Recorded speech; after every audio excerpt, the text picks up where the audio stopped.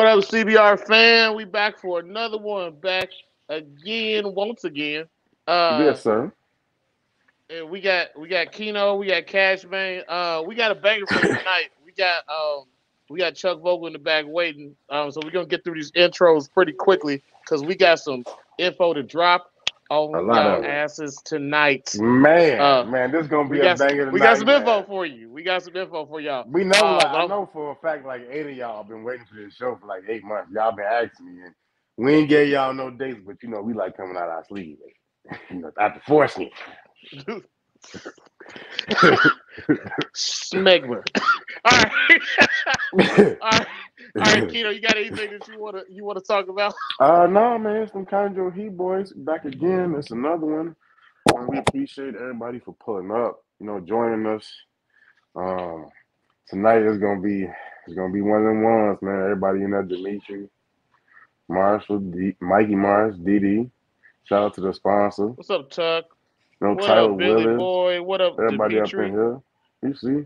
Our cousin You Chris, our sponsor tonight. Look at Mike. Uh, Mike we got? 1776. Mike from 1776. He came back around. We got Trey. We there. got Mikey Mars. Uh, who else we got? Uh, I think that's it. Um, but anyway, uh, yeah, Keno, you got anything you want to say before we Um, get started? I No, I really got nothing to say, man. I'm, I'm just super enthused about this show tonight, man. oh, me too, man. Me too. Me too, my good brother. But um, um, other than that, man, um, I guess before we drop Chris' video, man, we got some visuals coming for y'all. We got some new visuals coming for y'all soon. Be on the lookout for that. Them Conjure Heat boys been working. But go ahead Billy and drop boy, you don't, ch- you chill out with your crazy old self on scene. Man, come on. You, just- you know how impatient he be. You know, you know how Yeah. impatient Phil be. Hey man, don't be impatient tonight, man. Go ahead, chill Jeff. out, Go ahead. man. Go ahead and drop Chris' uh, video, the sponsor. Hey, man, we gonna get through it just so you know we can get, get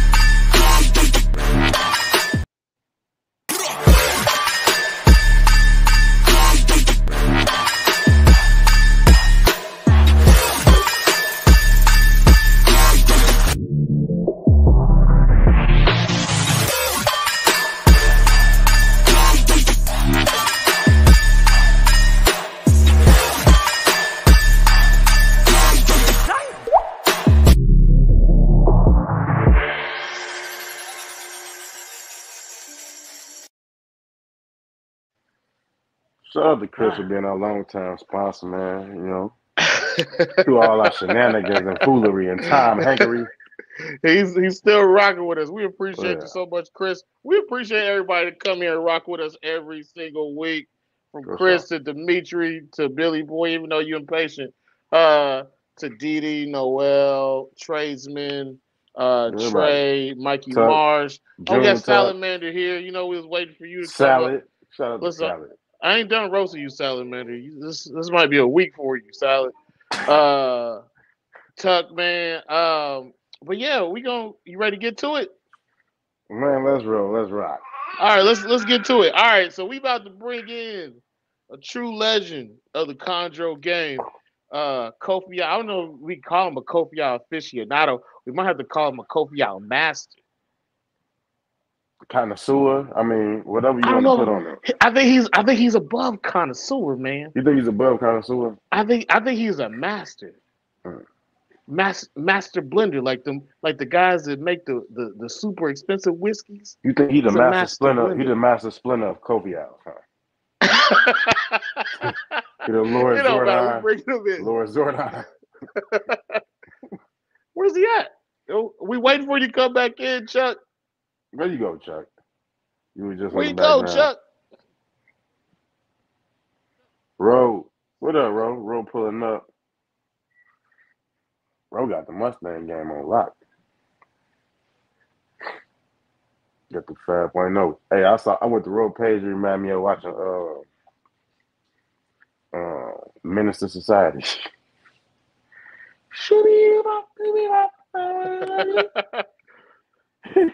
you you think Ro robbing people and, and telling them about cheeseburgers at the same time? I did not say Ro was out here uh, getting pre- pregnant women pregnant. look like- not Ro claiming, do look like the baby. I did not say that. like Ro do look like he'll he'll carjack you and make you drive and get some lemon pepper wings before you get out the car. Ro do. I'll let you drive your car just one last time. Get these chicken wings. you stupid. listen, listen. Get get two cups of ranch. I need two cups of ranch. So you Two get cups of ranch. Two cups of ranch for Ro. Two cups of ranch roll. Uh, He said, "Man, I ain't tell you about it. I ain't tell you to get no fries." oh man, uh, we Okay, mess with you though. Uh, Bro. but yeah, I guess we just wait for for Chuck to come back. We're just waiting for him in the ether, just waiting for him. In the meantime, in between time, uh, what y'all got going on, man? Yeah, What y'all working on? For me this week, uh, man. Did y'all see your, your animals? You had a you had you had, you had a you had some beautiful pictures of animals up this this week. D. No, Didi fancy. She be getting, she be, she be doing the nail thing and everything, bro. What happened? Didi fancy with it. Huh? Yeah, she is. She is fancy with it. We got uh CJ Frazier. Uh, CJ pulled up. yeah. What's up? You got a shirt that say genius? CJ, what up, though? Cash, you got a shirt that say genius, man? You gotta fight your dad, man. Look at Fry. All right, Fry. What up, cousin Fry? In the house. Yeah, we, Uh, we, we gotta we, get yeah, you back on here again, Fry. I see you smart- your- we and- and your racing. I, I see you in your racing game. So you looking good out there racing, man. CJ, what up? Dimitri. Yeah, we gonna. I'm gonna pull up in Tinley in October, Dimitri. I have some things to do this week. Some family obligations that I love handling. Yeah, we got the hashtag genius though. You see it. You know, so we still I only raise young, smart young men, bro. Young young champions, Yeah, young, Future leaders- young, handsome future leaders you of the what I'm sh- uh, future leaders of the Chi Town. Leaders No, of the not a not a shut time. We gonna hopefully we be, get, we be out of here soon. get out this jam. Get out this jam. I thought you said it was shot forever, bro. I'm, it's gonna be shot forever. It's definitely gonna be shot forever. It's gonna be always in my heart. But you know, hey, look, I love Like that con- the don't the like- don't love me. Like the Kanye song "Home." Yeah, hey, hey look, you know, ain't nothing wrong with coming home. You know, sometimes you gotta leave the nest. You gotta leave the nest. Very, very, very. Oh.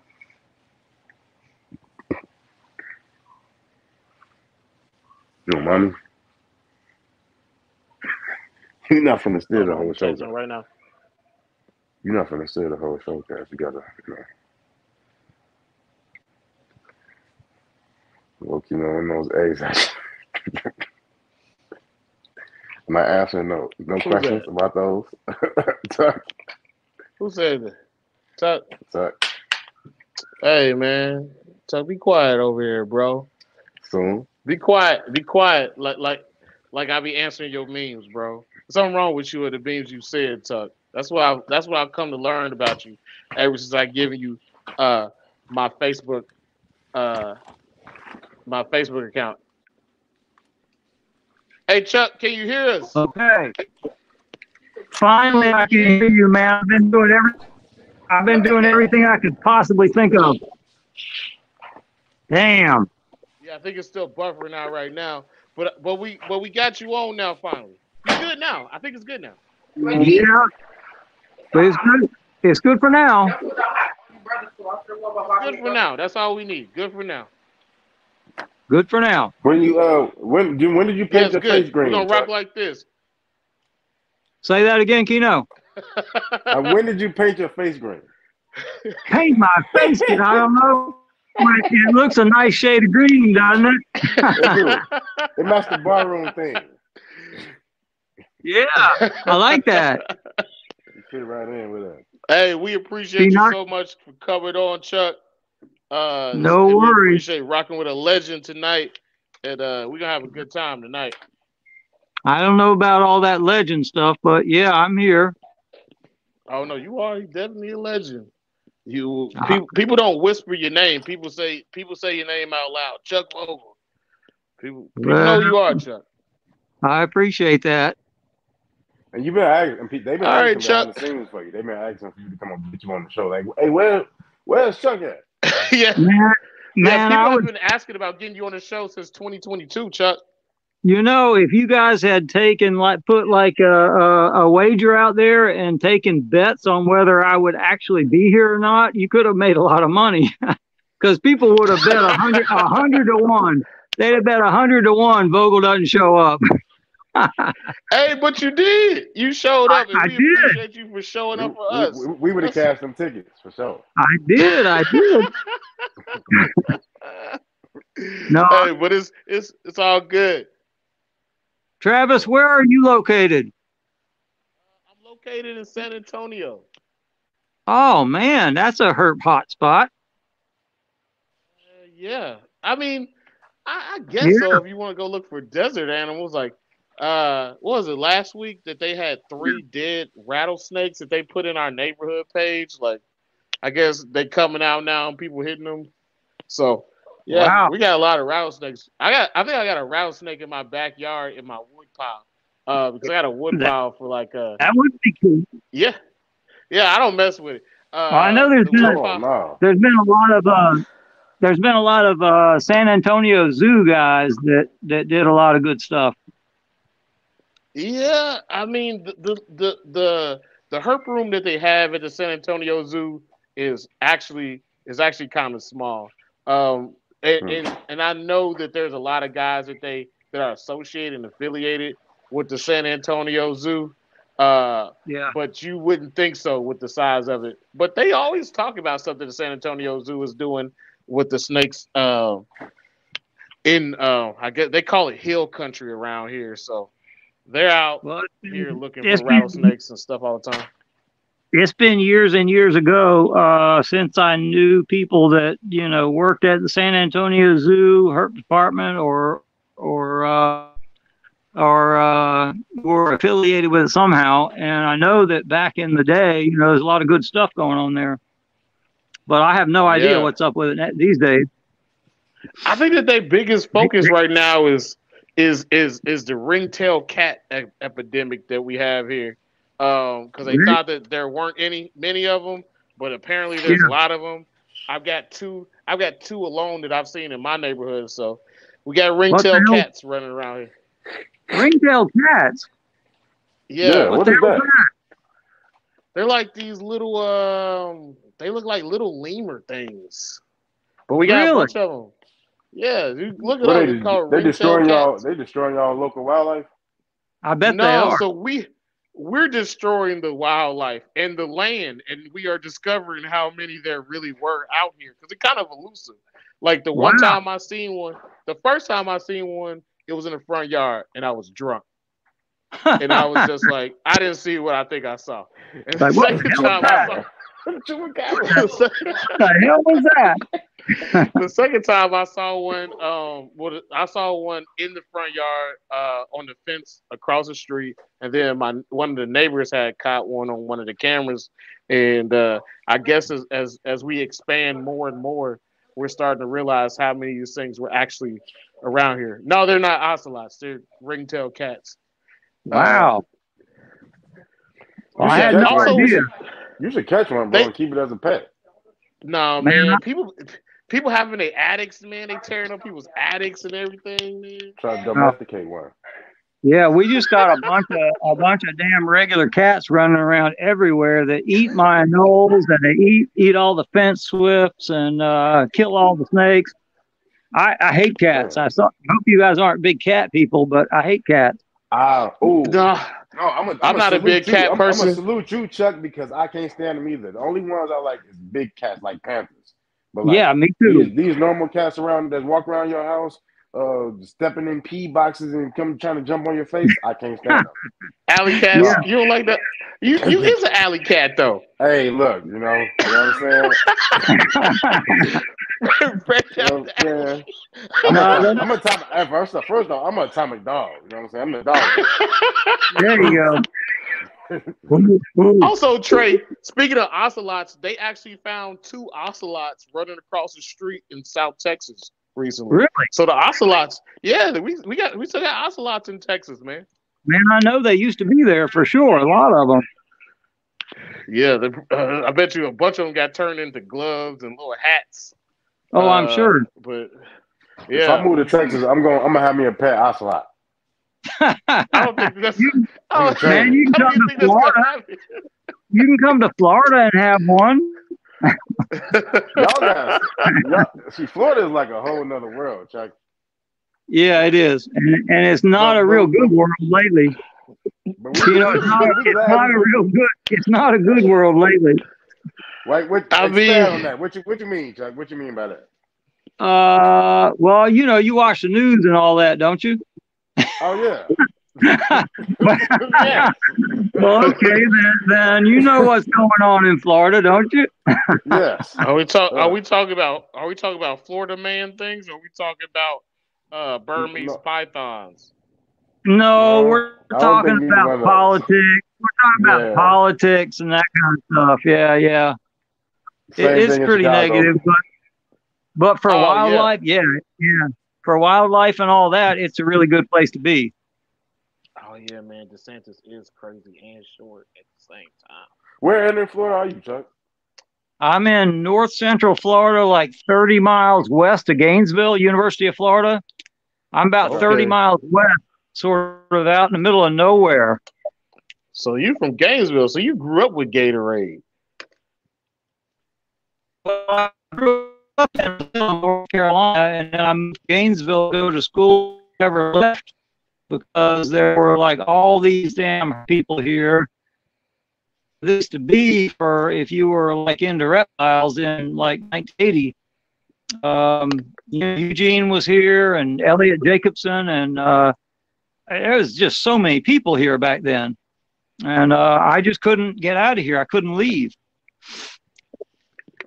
Hey, I think it's home. I think you got to stay there. I've been here 40 years, so I doubt I'm going to go anywhere anytime soon. But uh, yeah, you know, it's I, I was listening to uh, I don't know John Irby or somebody on one of the, one of the shows, and they were talking. He's in uh, who's in Idaho? The in northern Idaho. Uh. He was on one of the Ryan shows a while back. Young. Yeah, that's Ryan Young. And you know, I was listening to some of the challenges with like you know, 50 below and and 100 degree weather, all that. And the good thing about about where I am is that it's ideal humidity, it's ideal temperatures, and and it's just really easy to to breed snakes here. Because uh, you know, I, I cut off the uh, central air and uh, to the snake room, and it's just easy to keep it uh, pretty optimal, you know, Mm. just Yeah, because uh, just because of the, uh, the weather. Yeah, just the weather and humidity and all that makes it really easy to breed snakes here. So do you do you ever have to spray or find the need to spray where you live? Yeah. I do, but not nearly as much as everybody else I, I know of. You know, I, I might miss once a week, or you know, if somebody's getting ready to shed, if if the if they're opaque, I'll I'll make sure and mist a little bit more. But uh, man, I don't I don't do a lot. I mean, you know, really, I I I, pretty much uh, let them do their thing and uh, check on them every day, and uh, I, I don't do a whole lot with them. I mean that that's uh that makes a lot of sense. Um, so Chuck, we're gonna get into the Chuck Vogel story. So uh, let's get a quick intro. Uh, we're gonna go through your full history. Uh, but can we get a quick intro for the people who um Oh they don't God. know who Chuck is? How much time we got? Hey we got all Chuck, the time. we You, this, this is your show, baby. This is your show. Chuck, This if is we, your world. We just, we just if we go right now. over on this show, we are okay with it. It doesn't bother us. That's fine with Take me. as much time as you want to. We gonna treat you like a good pastor. You take your time, pastor. Take your All time. right, all right. Travis, did you see the you did you see the picture of me as a little kid with a giant water snake? I actually have that on. I actually have that as a question to ask you about, and I'm actually gonna pull the picture up. Hold up. Yeah, Man, I saw that video, boy. when I was like uh, as early as I can remember, you know, as as early as I was old enough to like walk out into the backyard in the woods by myself.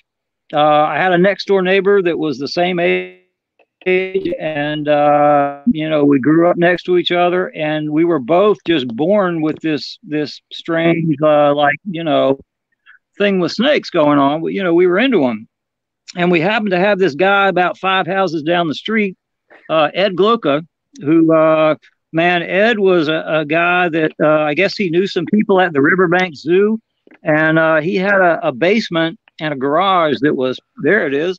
It was packed full of uh, yeah. every kind of snake you can think of. I mean, this is like the uh, mid 60s or or like you know 67 66 he had like uh, emerald tree boas and mangrove snakes and ocelots and monkeys and anything you can think of. And uh, yeah. that Ed, he he was about ten years older than we were, and uh, Ed Gloka is. I mean, he had a lot to do with it for sure, but. Uh, Hello. I think we lost you, Chuck. Get Chuck back in. Remember, remember uh, when you get back in, remember Egg Gloka. Egg Gloka. Left off at. Yeah, this this this from those. He's he's finna get the. You, heard him. He's finna get the preaching, man. You know? About, yeah, get the preaching on. Get get the preaching to the children, preaching the word. Alan, See, it's good. To, it's good to have like nice people in your neighborhood down the street with basements because he found snakes. There's a lot of situations don't turn out like that. It depends on what neighborhood you're in. When you in Wisconsin, you gotta be careful. You gotta be careful. Yeah. you gotta be careful with the neighbor with the basement. Wisconsin, especially. There you go. Hey, but imagine that though. Imagine that though. Like you and your neighborhood homie. You know what I'm saying? Y'all passionate. Y'all infatuated with these snakes.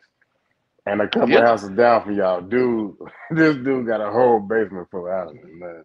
It's just like, yo, like, yo, who is this man? Who sent him to us? Bro, be kidding kitty heaven. oh man. If, if I had a neighbor like that when I was a kid, my mom she would be asking a, ton of questions like, "Why are you hanging out with this dude down the street?" Bro, I, I was that na- I, bro, I was that neighbor. I was that neighbor you would have came our house and you probably would have either got the cat would have came and rubbed it, rubbed up against you, bit by the dog. You would have saw some rabbits, some birds would have chirped at you. You could have fed fish. You know what I'm saying? All at the same time. Gerbils. You like shout out Doctor Dolittle. Oh, bro, we was up in that thing, though. My mama, my mama love Alice. you be having freestyle battles with the with the uh with the cats in the house. No, you make one whistle. Alley cat game. It'd be like um, Ace Ventura, Pet Detective, when he coming home from work and he just all, all the animals come out of nowhere. With your shirt off. just call animals with his shirt off. I don't want to be around no iguana with my shirt off, bro. That, that whip, whip you with that tail, that's gonna hurt, man. Oh hell no, man. It look like I came Every, off Amistad. Bro, every time I get close to a iguana, I feel like it's I might need to hit it with something hit it in the head real quick. Cause them tails, man, you know, it's not like a dog, bro. Like a dog give you a warning. You know, warning with no iguana. Just get whipped. Red dude. Skin no, bust open. Little, but usually you could tell when they move their leg, they hind legs, they hind legs start moving away from you. And you know that they from they from the cock back. so feel good. Well, we wait to get Chuck back in. Yeah, while we wait to get Chuck back in, we're gonna entertain y'all a little bit, man. I want, I do want an ocelot though. Bro, like I'm gonna send you the picture of the two ocelots they found. I was like, damn, those things are beautiful. It was a quick shot of it. You can probably find it on the on the internet real quick, but it was two of them. They found them in South Texas, uh, and I was just like, damn, man. I know it's somebody running around here right now looking for them. I want to, but you know, uh, we can ask uh, the boys from GM Reptiles if they got ocelots near where they live. I doubt it, but we can ask them. Yeah, we do, we might need to go to the south, go south for the board again, and check in with the. Yeah, we might have to. We might have to bring GM Reptiles back. Well, we are going to bring them back.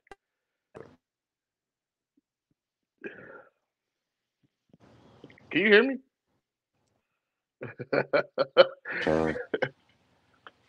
Can you hear me now? Yeah, I can hear you now. Do ocelots get huge? I don't know. Oh, Earl, what's up, Earl? I didn't even see you say what's up. What's up, Earl? Earl. But um, do ocelots get huge? Honestly, No, they because don't get very I'll big. Be, I'll be They don't- speaking if I if I I'll be speaking out of turn. I don't know. I just know I want one. They don't get very big, bro. They don't get I very want it big from at a all. baby though, so I want to be want to be able to train it. You know, like, hey, look, come here, little ocelot. You just go pull up. You go pull your fitted off. and you just have it jump on muggers. Ah, you can't rob me. yeah, cat in the hat. the alley cat with the cat in the hat. Yeah, you know. She wanted to all you want Diddy, All you really got to do is go outside and go grab one. yeah, just go grab one. They when have- you got. They, y'all get the kill them. You can just go. Right. Ha- have Steve with the jeep go capture you one. Tell G to climb You- climb up a tree, get a rope. Y'all can kill him now. So just wait till they cold. Get one. You know, set up a little cage for it. If you You catch get- one, I heard though. that if you, I heard that if you catch an iguana in Jacksonville, it comes already with gold teeth, um, and it screams Duval. It responds whenever you yell Duval. It just responds. And it'll twer- and it'll twerk the wee wee. If you, if you be, you don't be careful. These balls make exotic. Dylan, you What's already up, know. Dylan, Dylan, you already know. How, uh, you know what I'm saying.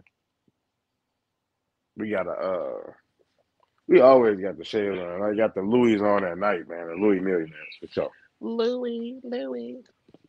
Kick out of wear the Louis at nighttime. Ain't no other way, man. You know. I think the only time I took these off was when I had to, you know what I'm saying, I had to when I had the shiesty on that time. I had to, you know, things had to get, you know, you know, I had to take the gloves off. I had to get out my body, get out a little character. But I got back in, you know. When when you Sometimes, wear the when you wear the shiesty with the sunglasses, do you put the sunglasses on over the shiesty, or do you put the sunglasses on? Would you like to see And- a demonstration of how I wear the, the glasses with the shiesty? Yeah, let me see how you put the All right, shiesty on with the with the shiesty on. glasses, man. Cool.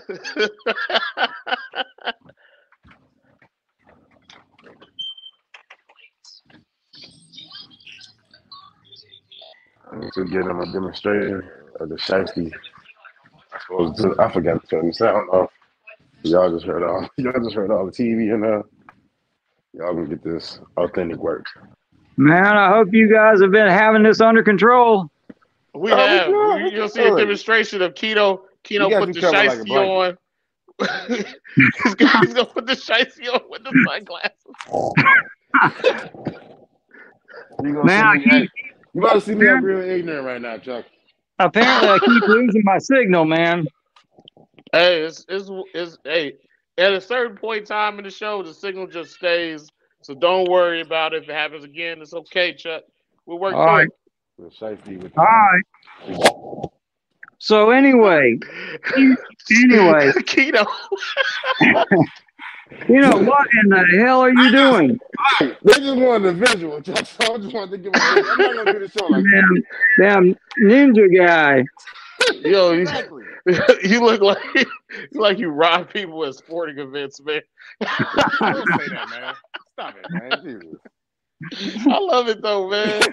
All right, so Listen. look, Chuck, you was in Ed Glocker uh, basement. You know what I'm saying? Just, just Man, bugging out. Ed, Ed Glocka was a crazy son of a bitch. He he had, uh, I mean, it was amazing the stuff that he did with animals that long ago, and um, you know, I credit him with with a lot of, uh, you know, getting me started. But um, yeah, when I was in high school, when I was a senior in high school, um, you know, we were he had an estuary pet shop in Winston Salem, and uh, which was all reptiles, and um, I used to sell some things for him, like um, uh, I used to sell stuff for him, and, uh, and and one weekend I went to give him the money from stuff I was selling for him, and he was kind enough to go to the ABC store and get me a bottle, and uh, next day was Saturday, and then Sunday. just wait, just wait, just wait, just wait, just all right. Wait a minute, just wait, just wait. So Sunday, Sunday, you know, my dad came and was calling me, called me, and he was kind of somber, and I was like, uh oh. And uh, he said, Ed, uh, Ed Gloka died last night. You know, he wrecked his Jeep and they found him underneath it. And uh, that was like in, I, oh, I don't know, 1979 or something. Yeah. Oh, damn. It rocked me, man. I had never known anybody that died. And uh, I had just seen him the day before. And uh, it was damn, a. That's, that's terrible. I had a hard time dealing with it. And, and Keno, what I decided was that okay, I'm just going to carry him with me, you know, Uh, because uh, I, you know, every time I, I got a new snake or went went out field hunting or something, you know, I decided, well, I'll just carry him with me. You know, he can he can live life through me. And um, that's you dope, know, Chuck, man. That's I, think man. Him, I think of him all the damn time. And, and Ed uh, Gloka's honor. Ed Gloka yeah. is, yeah, he was an amazing guy. He Rest used to go to he used to go to Okatee and he would like road cruise at like 60 miles an hour. And he'd see a damn damn corn snake and like slam on the brakes and car'd be spinning around. he was a maniac. He he was crazy. But uh, but he was a great guy and put up with us little kids. You know, we were little pain in the ass kids to him at the time but he put up. If, man, y'all got if he got any family and y'all stumble upon this anytime in life or whenever y'all see this man, just know that y'all father, uncle, whatever he is to y'all, he was a good dude, man. He, he was, left an impression on this dude. man's life. Absolutely. He lives on. Yeah, he lives on. He'll he'll live on as long as as we live on.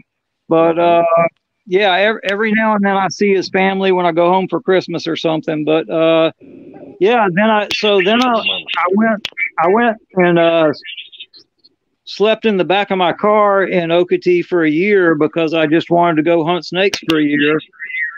So I, I didn't have any money. But you was living life though.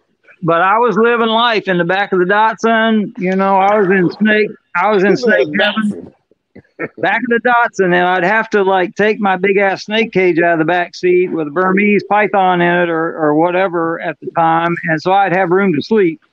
And, uh, you know, I got to know a bunch of the local guys, Todd Ivy and Benji Hankla, and a bunch of the, the local people that actually grew up there or lived there. And um, I spent a year hunting snakes and working landscaping and working at a horse farm uh, doing whatever I could do to make enough money to eat and, and, you know buy buy what I needed. Hey Chuck, um, I, I, Chuck, this is the first time we've ever heard somebody so dedicated to to herping that they will live in their car for a year to do it. Chuck, you a legend. Bro, You're with a Burmese python, bro. He was living there with a Burmese python. It wasn't just a car now. It was a damn Datsun 510 and Datsun okay, 510 the, the Datsun 510 they, they, don't have a big back seat Travis. I know. I know. With a Burmese bro. Yeah yeah I got a Burmese. I had a big ass Burmese that I hauled down there with me and uh, yeah I, I, did what I had to do and and eventually uh, Todd Ivy who's a very cool guy that has lived there for I don't know, since sometime in the 70s. Uh, he saw me like one day going to work. He saw my car like kind of backed up in the woods on a, a vacant lot. And he, he came up and said, well, well, you know, what the hell are you doing? And yeah, like I, said, I, I, said, I said I was sleeping until you woke me up. And um, and uh, you know he had his wife and 50 million snakes and uh, and uh, like a, a one year old kid maybe two year old kid and uh, he let me sleep on his couch from that point on uh, until I got a job at the at the horse farm there on Hilton Head Island. And then I slept in the barn and a little. I've been to Hilton Head. Yeah, I paid my dues there, and uh, you and then eventually, Chuck, eventually, eventually, I got down to to Gainesville to to do something with my life. I decided I I had to do something and uh, they had like the Santa Fe Teaching Zoo in Gainesville, which was like the only teaching zoo in the world at the time. And uh, so I came, moved to Gainesville. My dad hauled me down here and and uh, and got me. Uh, it supported me long enough to get started there. And um, so that was kind of cool. And I met uh, at the teaching zoo. Fred Antonio was the assistant curator and then the curator. And Fred Antonio is a guy that um, he used to work at the San Antonio Zoo for a while, and he worked at the Dallas Zoo for a while, I think. Um, okay. He was a major guy. He had uh, uh, billions of every color eyelash viper and uh, lateralis and nigroviridis. Uh, but main, his main thing was bushmasters. He he was one of the first people to captive breed bushmasters. No. Um, and of course Eugene was was there. As soon as I got to Gainesville, I you know met Fred, and Fred said, "Oh, there's this guy Eugene Bessette. You got to go check out his collection." And uh, when I went over to, to see Eugene for the first time in 1980 or or 80 or 81, uh, he had this uh, like a, a, a immaculate lab with like 200 or so rhino vipers and right. um, uh, gaboons and puff adders, mainly rhinos. And he had like, uh, I mean, it was like a laboratory. He had he had data cards on each each uh, each each uh, compartment of each rack, and he recorded everything. He recorded like how much the meal weighed and how much the the crap weighed when they defecated. Uh, you know, when it ate. Sounds like Mikey Marsh. Oh man, he was he was anal retentive about that stuff. And so wait um, a second. So so you met Eugene Bessette in 1981. You that's how long you you you known him? Like you? Yeah, yeah. You he didn't have he didn't have any chondros at that time. He Oh, had damn. he had, he had he had gaboons and rhinos and puff adders. That was it. So this was before Wow, he was oh, uh, ophiological service and everything. Yeah, that was before It had to be. ophiological services. Yeah, Okay. And Eugene Bessette when Rick James was still hot out here. Rick. James. That's how long you know. hey, Rick James, You motherfucker. just said that you're you just- you've been to a lot of parties. Yeah, yeah. Rick, Rick, Oh, Rick James was oh, Rick James was hanging out. Rick James was hanging out with uh with uh what's his name's brother? Um uh uh who? Eddie Murphy. yeah he was hanging out with uh uh what was his name? The other Murphy his brother's name. Charlie Murphy. Charlie, Murphy. hell yeah he was hanging out with Charlie Murphy. And uh man did you, you ever watch those skits on uh on uh, uh Chappelle show Yeah, but that's just,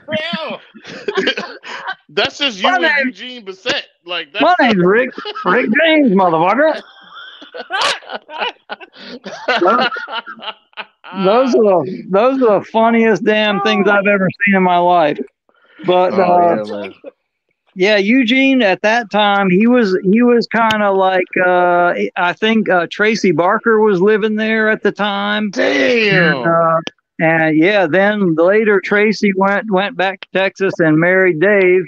And um, sometime in like the early early '80s, uh, I don't know what happened with all the uh, gaboons and rhinos and all that. Some either there was some kind of uh, virus that wiped a bunch out, or I don't know how he went from that to the big ass pythons. He went from that to breeding big ass pythons. And, um, he built he, he built he built all these incredible gigantic cages and and he built he bred like um uh you know the the uh, big Australian pythons I can't think of the name of. Scrubs. um, scrub pythons yep and and giant Burmese and retics and and all that stuff. Um and uh that went on for a while and I guess at that time he started getting getting into the he started getting into the chondros with Trooper, who was a good friend of his. And um, you know, I, re, I I- remember going over to Eugene's, and he was doing this project with uh, Van Mierop, uh, LHS Van Mierop, And um, they were trying to like uh, uh, you know get a handle on the uh, monitor maternal incubation and then transfer that over to over to uh, you know captive incubation. And i remember he had like all these damn big mason jars with like gravel and a layer of water and some other shit in them and then a couple eggs. And i remember thinking good god you know yeah, that's really cool, but good God, you can do that. I, I'm I'm gonna keep breeding my temple vipers and eyelash vipers, the things that have live young. Because at the time, you know, the the uh, I mean, those were all wild um, chondros at the time, and you know, incubating the eggs was a big problem. And he had all these fancy ass nest boxes, and and you know, Them you know, artificial, artificial hadn't come into prim, uh, the the prim, no, what is and What- I mean, what the word I'm looking for, but it hasn't. It, Prim- it ain't coming to. it what- hadn't what- come what word I'm in. looking Get it- fruition. It Yeah. hadn't come to fruition. There you go. It was the early days, yeah. And he had, it- it- you know, there'd be a thermometer, glass thermometer sticking in the top of these damn jars. And uh, I re- just remember thinking, good Lord, you know, what a, what a lot of trouble. But uh, I they feel like learned, you, you probably saw all that stuff, and you're probably just like like a normal dad, just like, what the hell is all this shit? What is Well, this? I was just like looking at it from the point of view of a, a herp guy who, who, you know, just couldn't imagine dealing with anything that was that pain, that big of a pain in the ass. Um, it just seemed like way too much work. And, you know, eventually, uh, you know, he started getting it under control and producing chondros and, and he was the man. Um, and I, I remember in like 1985, uh, we started the Gainesville uh, Herp Society in Gainesville. And um, Fred Antonio and me and Ken Benfield started the Gainesville Herp Society, which grew into a big damn deal. Uh, we had speakers every uh, once a month and put out like Wow. a 30 page, 32 page newsletter. And um, it, it was the biggest one next to the Chicago Herp Society, I think. Um, but it brought a whole shitload of people together. You know, Walter Auffenberg, the monitor dude, was at UF at the time, and um, Van Mierop and Bill and Kathy Love were always coming up, uh, and Greg LaPera from the Alligator Farm, uh, Elliott Jacobson, uh, you know, her herp vet extraordinaire, um, and Bern Bechtel, who was a guy in Valdosta, not far from here, that uh, pretty much invented the albino corns and the and the scaleless Lindheimers and all that. Uh, and George Van Horn, who was doing extractions at at Reptile World uh, in St. Cloud. Crutchfield would was here all the time. Uh, Wayne Hill, back when Wayne Hill was not the Wayne Hill he is today. Well, he sort of was actually. Uh, but just a bunch of people. I mean, it was just a uh, a whole bunch of herp people. It was a herp hotspot, and uh, so there was just no way I was going to leave here at that time because I kind of had it made. Yeah, And you um, founded it. I well, I founded the Herp Society, co-founded it, and then you know I was like production Yeah. coordinator for the newsletter, and uh, went out and uh, uh, eventually was pr- vice president, president, and um, uh, went out to the schools and did presentations at the schools and all that. Um, How did you Well, come with? How did you guys come up with the different uh, creative ideas for your for your weekly magazine? That you, I mean, your monthly magazine that you were putting out. So we would go our, our our our all the business got done at this little bar called the Banana Boat. and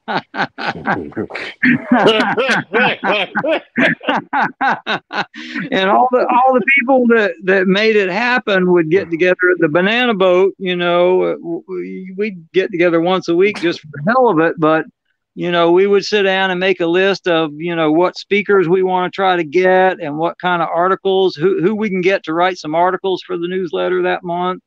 And um, you know we just sat around and and fred knew everybody. Fred knew so many people.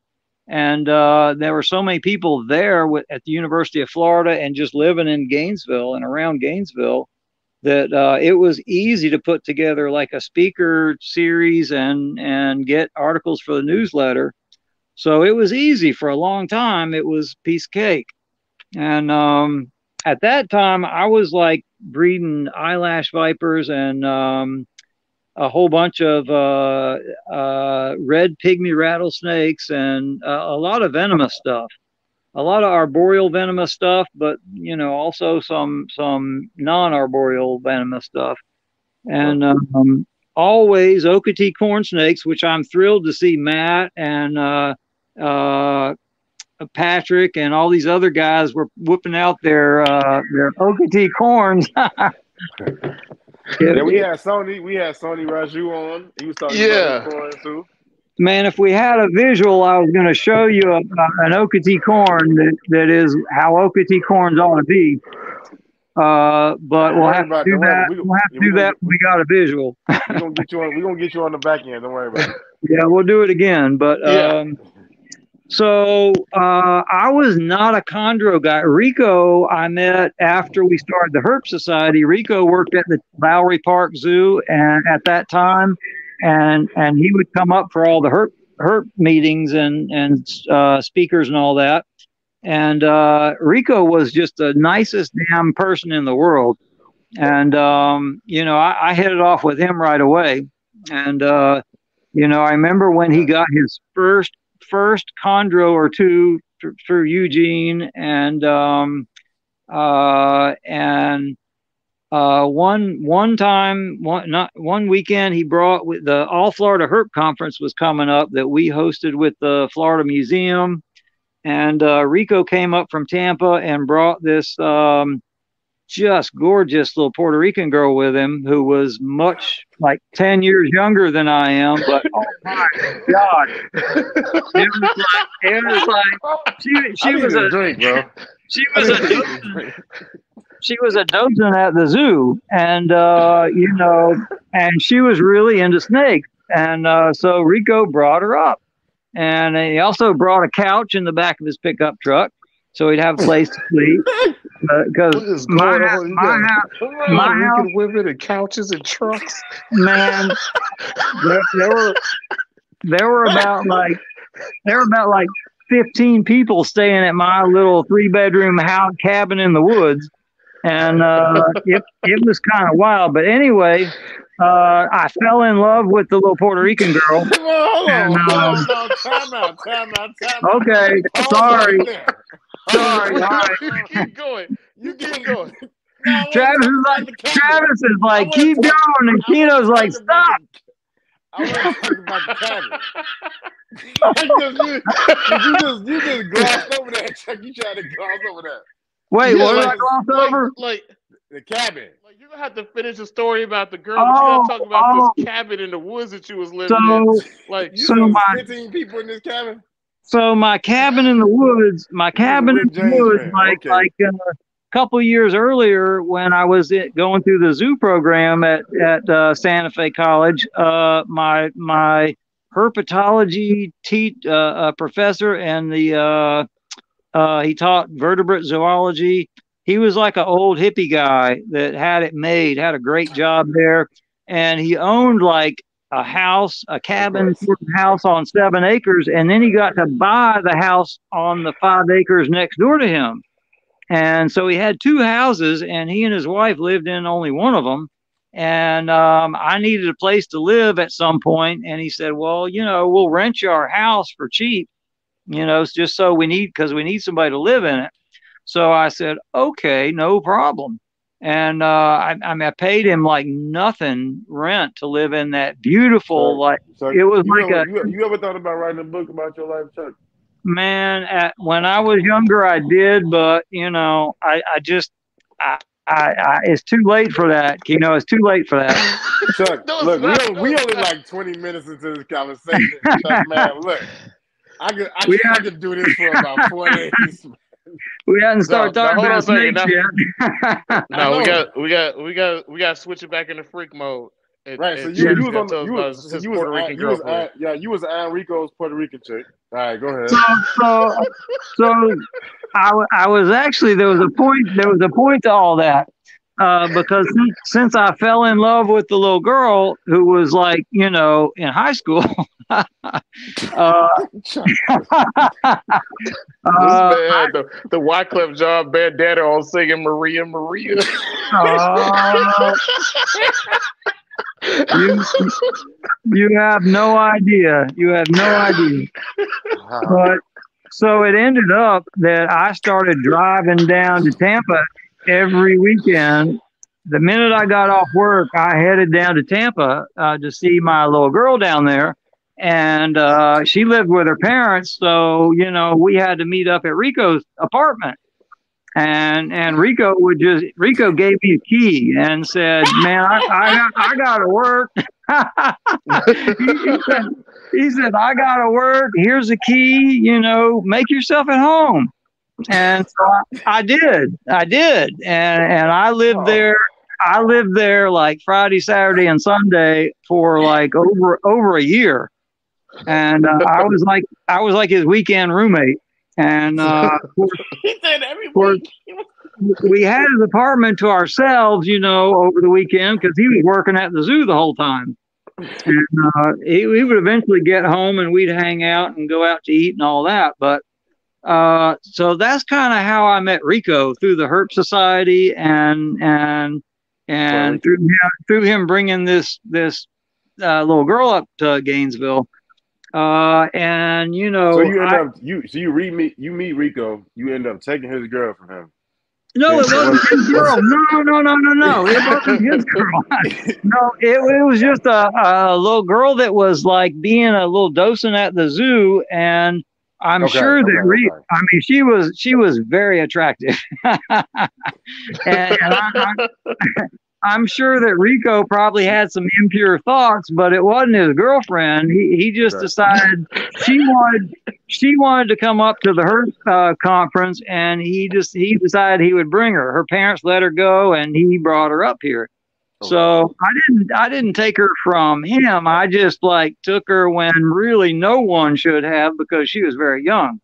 Uh, but that's how I that's how I got to sort of live with Rico for for a year part of the week. Um, So he just door dashed you a girl, basically. He said, "Hey, I'm gonna come bring some of my chondros and uh." Yeah. It he, like, he, it he did like that. was a blade woman. he Was- did that well, well before DoorDash. Was this so? Was she? She was working at the zoo as well, right? She was work. She was volunteering at the zoo. Yeah. Okay. I don't think she was old enough to work there at the time, and and she was like a, a zoo docent. I don't think the docents get paid; they're just like volunteers. But her thing was her thing was snakes. She was really really into snakes, and um, which is why he brought her up to the to the herp conference. And um, so that that's really how you know. First, I met Rico through the Herp Society, and then I, I, I became his roommate for over a year because of her. And I sort of over that year watched him get two, and then three, and then four chondros. That was that was the beginning of his chondros. And um, and then you know, a couple four couple more years go by, and eventually uh, Eugene was passing the torch on to Rico. You know, Ooh. um, uh, more time went by, and you know, you know, the rest is history. Eventually, Rico was the Chondro guy, and uh, you know, he was he moved up to uh, Signal Mountain to work at the Chattanooga Aquarium, and and then when he had enough. Uh, enough chondros, I guess, to, to support him. He quit the uh, aquarium and did signal herp full time. But um, uh, I was not really a chondro guy. You know, I, I, I was I was like really into this wagleri project because nobody was able to figure out how to keep uh, wagleri alive, the temple vipers alive, much less breed them. And um, I built this crazy damn. Uh, I drilled holes in the floor of my little cabin and uh, made a, a rain system where I could rain on them for days at a time. And uh, they came to life and they, they lived, they shit, they bred. Um, and uh, a couple years in a row, I got litters of of little temple vipers, which are just the most gorgeous things in the world. So you And, were uh, the first one uh, in the United States producing these? there was a zoo that there was one of the Texas zoos that had I, I'm not clear on whether it was a gravid female that they got in that gave birth. I think that it, that was the case. So if that was the case, yeah, I was the first one to actually, you know, breed them in captivity, and uh, that was kind of cool. They I, I wrote a little article about that that was in the Vivarium Oh, yeah. magazine. Um, somebody posted that on uh, nice, clear pictures of that on my uh, uh, Facebook page, which is kind of my website, since I never actually got a website together. I mean, Um, but you got Instagram now. If you use it, that's where all Yeah. your your promo videos were. really, You didn't see any of your promo videos, Chuck. Travis? I, Travis, the only time that I've gone to my Instagram, which my brother, my older brother, signed me up. He's like, "E- Chuck, it's not that hard. He said, "Here, give me your phone." And like you know, he tapped away and tapped away and tapped away, and then and we posted a couple pictures of of the Kofiau. I haven't been back to that. I haven't been on Instagram since that Christmas, which was like several years ago. So I don't have I don't have any idea what's on it. You should go on there. I say within the next, uh, probably go on there maybe probably tomorrow morning. What's on there? Oh, our promo videos. Oh, you you you gonna see you gonna see you might choke. You might see yourself choke slamming me through a cage. Uh, it's just we just we just go crazy. So I got to I got to get rid of that then, huh? you got no. You got to go see it, Chuck. No, you got to go watch that stuff. You, you got to go watch them. I'll have to figure out how to get back into it because I I really I I never actually logged hey, Trav, into it. send them, hey, Trav, DM them, DM them to him. So they, they all, he always have. 'em. Yeah, I'll send them to him. I'll send them to him in a text message. I'll send him all his promo videos. I'll send the ones that we didn't Please use either. I did tell you I was tech challenged. Now you you know that's a fact. I mean, all we got you here. Don't worry about it. Don't worry about it. We we work It's- it's it. good. Baby steps. Baby steps. You sort sort of got me here. You you still can't see me, can you? no, we still can't see you. I Hold on a mean, you second. you very green. You a little Damn, green. damn. I, Well, well, that's I can see the gray. I can see the gray hair at the top now. That's pretty typical. I avoided. can't see anything. What? No, you can't. I can't see through it. I don't know. Keno, you can see that Nah, I'm man's talking head about, through no, I'm talking about, no, You it's must- like the top of the screen is gray. That's all I'm saying. You, you sound like one of see the it. people. we- Oh yeah, that used to yeah. watch like the blurred vert out, the blur, the Oh, blurred yeah. version, like the Spice Channel. Be like, that's. No, I'll I see used to do that when I was a kid. Real sex, yeah. I see the lines of gray hair now above the green. Now I see what you're looking at. Yeah, there you go. Yeah. Just No. like back in the day when I was like when I was like nine and uh, I wake up and Showtime was on. and they be all squiggly. That's another story. That's another story, Chuck. Yeah, that'd be another one we got to come back to. All right, Chuck. So, you know, you've given us part of like the the history of Chuck Vogel before you got into chondros.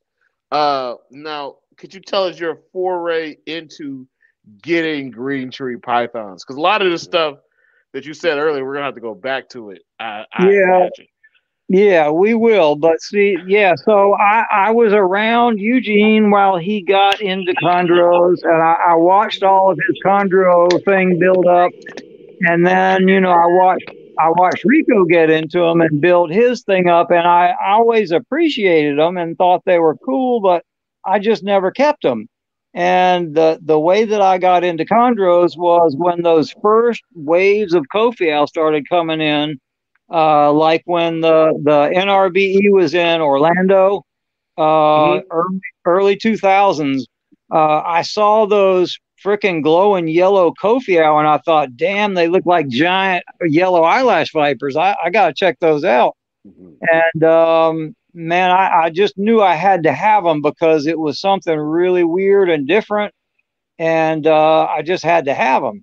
So I bought several. I bought a couple, and um, And this is when Kofiau was like plentiful. This one they was coming in, by the way. Was, Yeah, there was a lot yeah. them, right?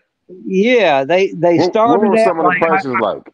I think Crutchfield Crutchfield paid an ungodly amount of money for like one of the first ones, some of the first ones to come in. He paid thousands of dollars for them, but later on they were like uh, the going rate was like twelve hundred per sub adult, bright yellow ones. Uh, and then like John Lingo started showing up at the at the expo, and uh, he had little guys that were pretty much established, and he was selling for like 800 bucks a piece or something. And Rico and I bought quite a few of, of the Lingo ones because John Lingo had some really nice Kofiau. Mm. Um, and, uh, you know, there were some setbacks uh, because, um, you know, once I start, I got a fairly good group going. I bought one from, um, uh shit one of those one of those guys at the expo that has a million tables and tons of snakes and flip snakes. Not triple l but one of those type people not underground might have been underground. Uh i bought a male and for cheap and that freaking snake killed all my Kofiau uh, do you know what happened I don't know exactly what happened at to that at that point. Uh, so that was a little bit of a setback, and then so what? Then wait, like hold on. so when you yeah. say that one killed your Kofiau, so that one did it come in sick, or did, were you breeding, or like? So tell, tell it, us a little bit about that it was an import that had been, you know, hanging out at underground reptiles with five billion other snakes and animals, you know, okay. so it was exposed to everything in the world. And, you know, I, I semi quarantined it the best I could. Uh, but I was so anxious to like try to breed these things after, you know, a month of it eating just fine and seemed to be just fine. I stuck it in with my nice yellow female and uh, you know, a couple weeks after that, I started noticing some weird stuff, and they stopped eating, which was real unusual. And within a week, they were uh, they were both dead. The, those adults were both dead, and Damn. eventually, all those early ones died. And and then shortly after that, there was a guy on uh, in Texas on MVF that had like 3.3, I believe and he had he had bought them like a year in 85 or something. And in 86 they he hadn't they didn't breed for him. And i think a couple were starting to like a couple had turned you know greenwash. And he he was afraid they were all going to turn green. And he posted them for sale. I, I think they were for sale on mvf like in 2005 or 6 uh, but at any rate, I bought all that I could afford, which was like 2.2. Uh, I bought four, two males, two females from him, and that ended up being my founder group. And mm. both both of the males uh, stayed yellow for life till they were like 15 years old. Well, till nidovirus killed them when they were about 15 years old. And and the female. So those, so those were the canaries. The females were were outstanding animals. The one one of them turned hormonal blue after the second clutch. Uh, yellow rose. The guy in Texas had already named all these animals, and I just sort of I don't name my animals, but I kept the names that he had given them because it was like sunflower and daffodil and yellow rose and you know things I wouldn't have named them, but they were already named, so I I went with it. Uh, but uh, Yellow Rose was just a spectacular female, and she laid uh, six or seven. She laid seven clutches in a row, seven years in a row, and wow. she was she was still healthy as hell. She was she would start eating like this the week after she laid. She would start eating again, uh, and usually would eat right up until her her pre-lay shed. Uh, mm. She was a great, great snake. And uh, then Nido came, and uh, you know, um, we were uh, trying to. Rico had his seizure in Orlando, like in 2013, and I I hauled ass to Orlando and and saw him the morning after surgery and. That was a really bad time. And uh, and then for the next 18 months or so, you know, I was going back and forth up there, back here, up there, back here, trying to help him do what I could. And um, eventually the re- reality set in that he was going to have to sell the collection. And that was You, amazing. You're a good friend. You're a good friend Chuck, Yeah. for doing that, man. Uh, man, there's, there's nothing that I would not have done for Rico. He he was as good a person as you could ever meet in the world. And th- this is like a lot of the chondro world knows him as Lord Lord Walter, you know, and all. all yeah. he he was a very humble, uh, you know, um, easygoing. Uh, you know, if if you were stuck on the side of the road, he'd pull over and try to help you. He was just a good human being. He was a good guy, and uh, I would have done anything to help him. And uh, so we we worked with a bunch of people to get a bunch of the collection sold. Rest and in peace, uh, Rico. there we Yeah, rest are in peace, yeah. Rico. when we when we finally lost him uh, in October 2014, um, Darlene and I uh, had to do something with the hundred or so snakes that were left, and so we waited a few months, and then uh, in you know spring spring summer 2015. We had photographed everything and and put groups together and and gotta start doing the auction. I remember that. yeah, I posted posted. Uh, Darlene sent me the groups, and then I posted them on on the on Rico's uh, Facebook page, and we kind of winged it to pull off these auctions, and we got help from people like uh, you know Matt and uh, James Gabriel was a guy who used to be around, uh, who who seemed to know everything. He he seemed to have studied all the damn uh, pedigrees and um, Yeah, I know. Uh, I know James Gabriel. I there were uh, there were there were animals that Darlene and I couldn't quite figure out uh, a positive uh, identification for um, because what was on the on the um, on the tub or on the cage didn't match what was in the computer.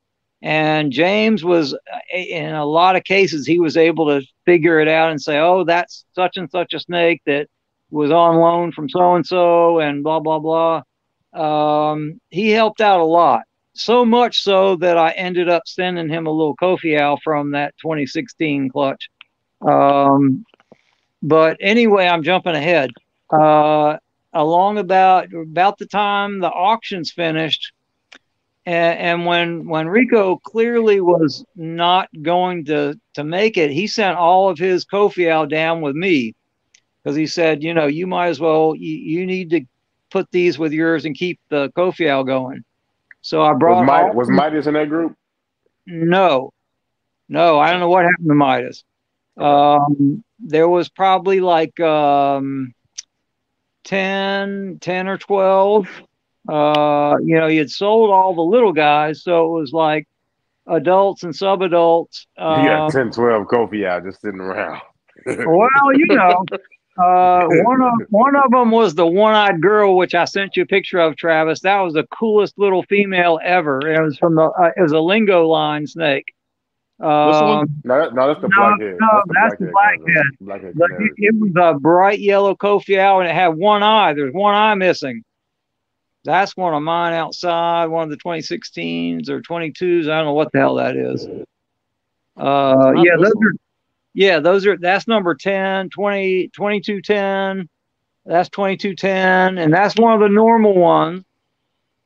Travis, could you see the difference uh, between the the 2210 and 2216, the ones that were all like patterned? yeah. So I had a question for you about about the Kofiaus, about the the single scale uh, OCC that looked like was going on. Uh, but I was Yeah. gonna say that to the end. Okay, So this is um, one of them that has that has it. Um, so there, like boom, up here at the Yeah. top. Well, look at the on the sides. Look at the lateral. Yeah. It it goes from the the dorsal all the way down to the bottom on the side, and, and That's what I want like to ask you about. so that I've never seen that in my life. In 20 years of messing with Kofiau, I've never seen that in my life. And when I did the sibling pairing of 2016s, and, and of course the blackhead canary is the grandsire on the maternal side. Uh, you know, I did this sibling pairing, and these 22s at 13 months, they had like seven out of 10 had this like uh, muted dark scales. And what yeah. the hell, man? I've never seen that ever in my life. And it, it would look real subtle to people who had not, you know, bred Kofiau for 20 years. But to right. me, it was like, this is something weird. This is not normal.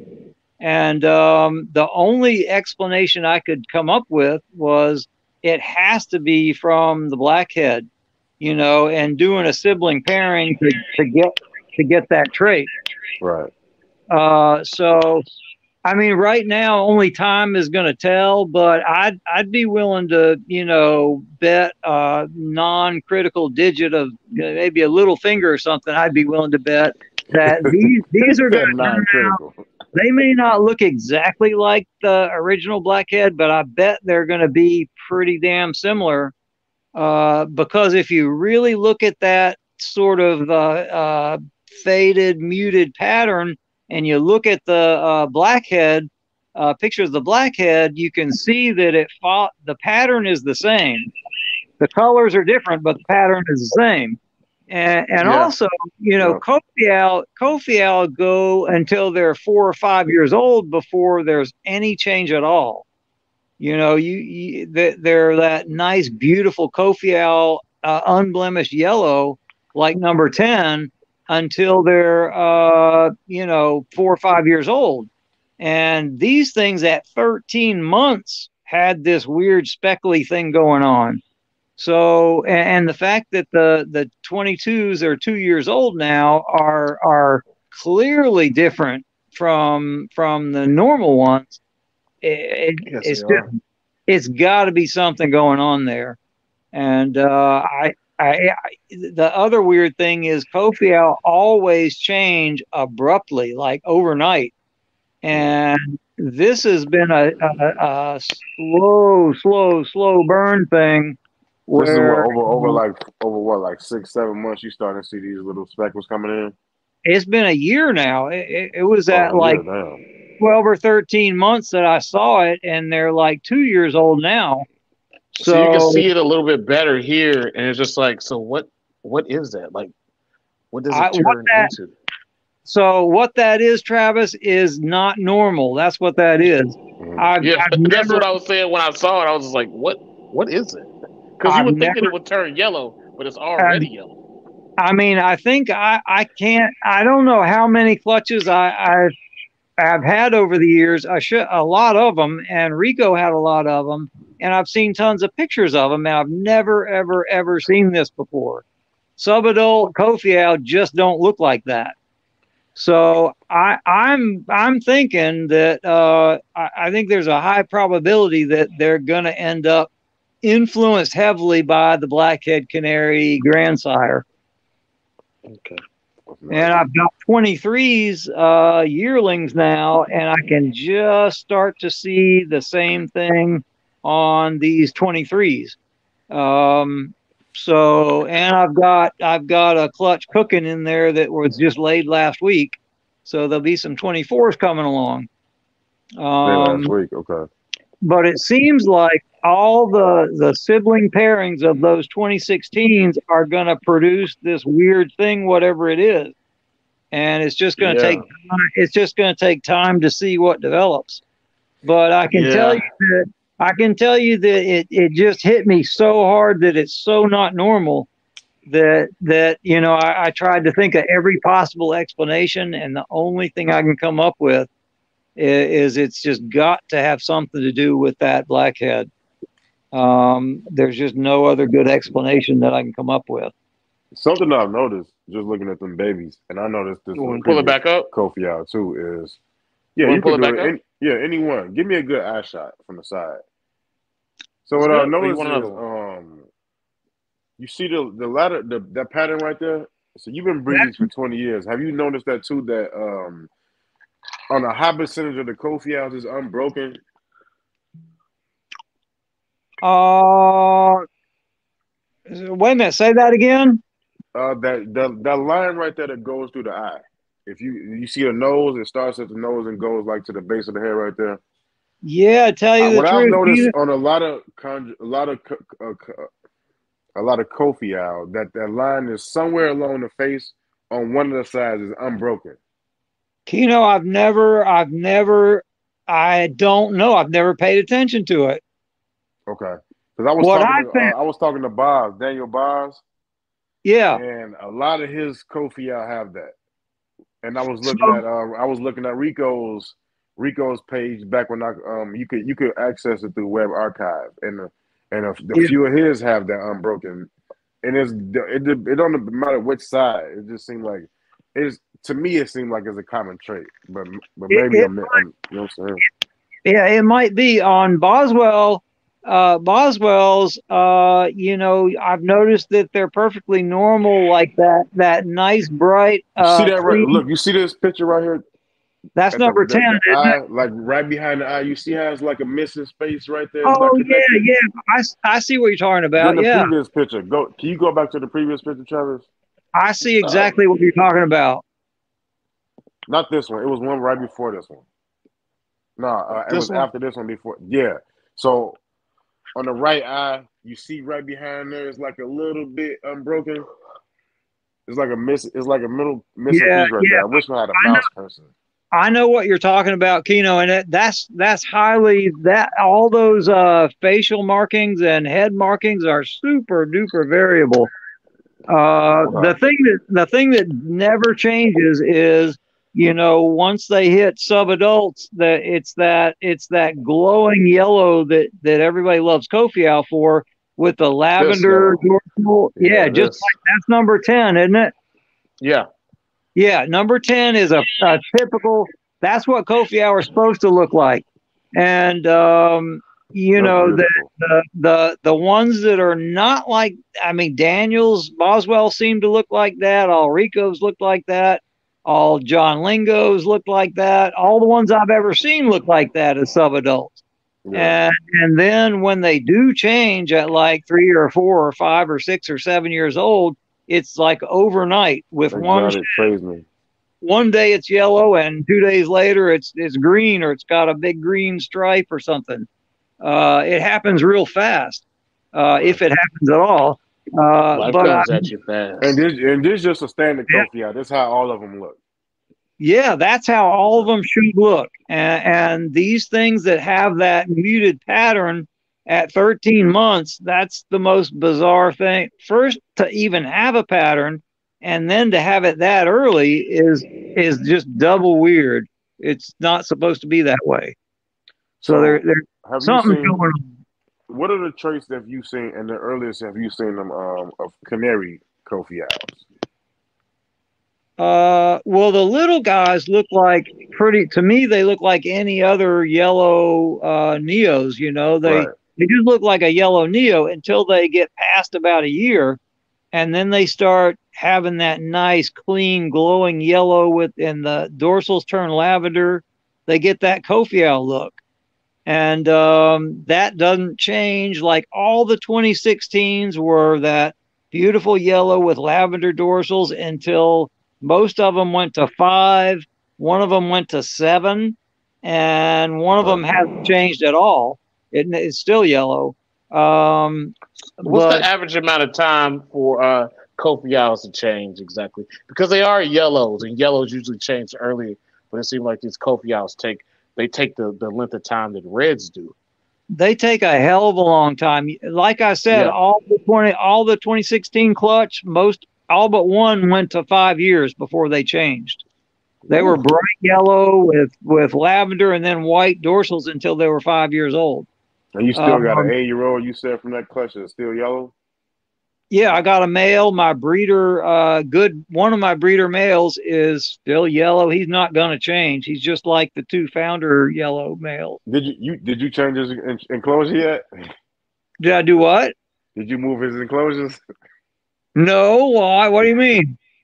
Because you know they say that's they, that's one of the rumors too. Like, as soon as you, as soon as you uh, change their enclosures, or you like moving from their uh, juvenile to, or you moving from like the a two two to a three two, whatever it is. It seemed like oh, yeah, yeah, too, that, yeah. that changes too. Yeah. He's been in. Uh, he he goes from like uh, I bought a whole bunch of uh, Eugene's old uh, Neodesha cubes, um, oh. like many many many years ago. After he got rid of all the chondros, I bought a whole bunch of those Neodesha cubes so my adults go from they go in a Neodesha cube or a Vision, uh, you know, two by three, three by two. Um, that's mostly what I what I've always used. Now I've got Rico's uh, uh, habitat systems, which eventually I'll move some into. But um, I really like the you know I've gotten used to the Neodeshas and the and the Visions. I'm one of those guys that's never used a heat panel in my life.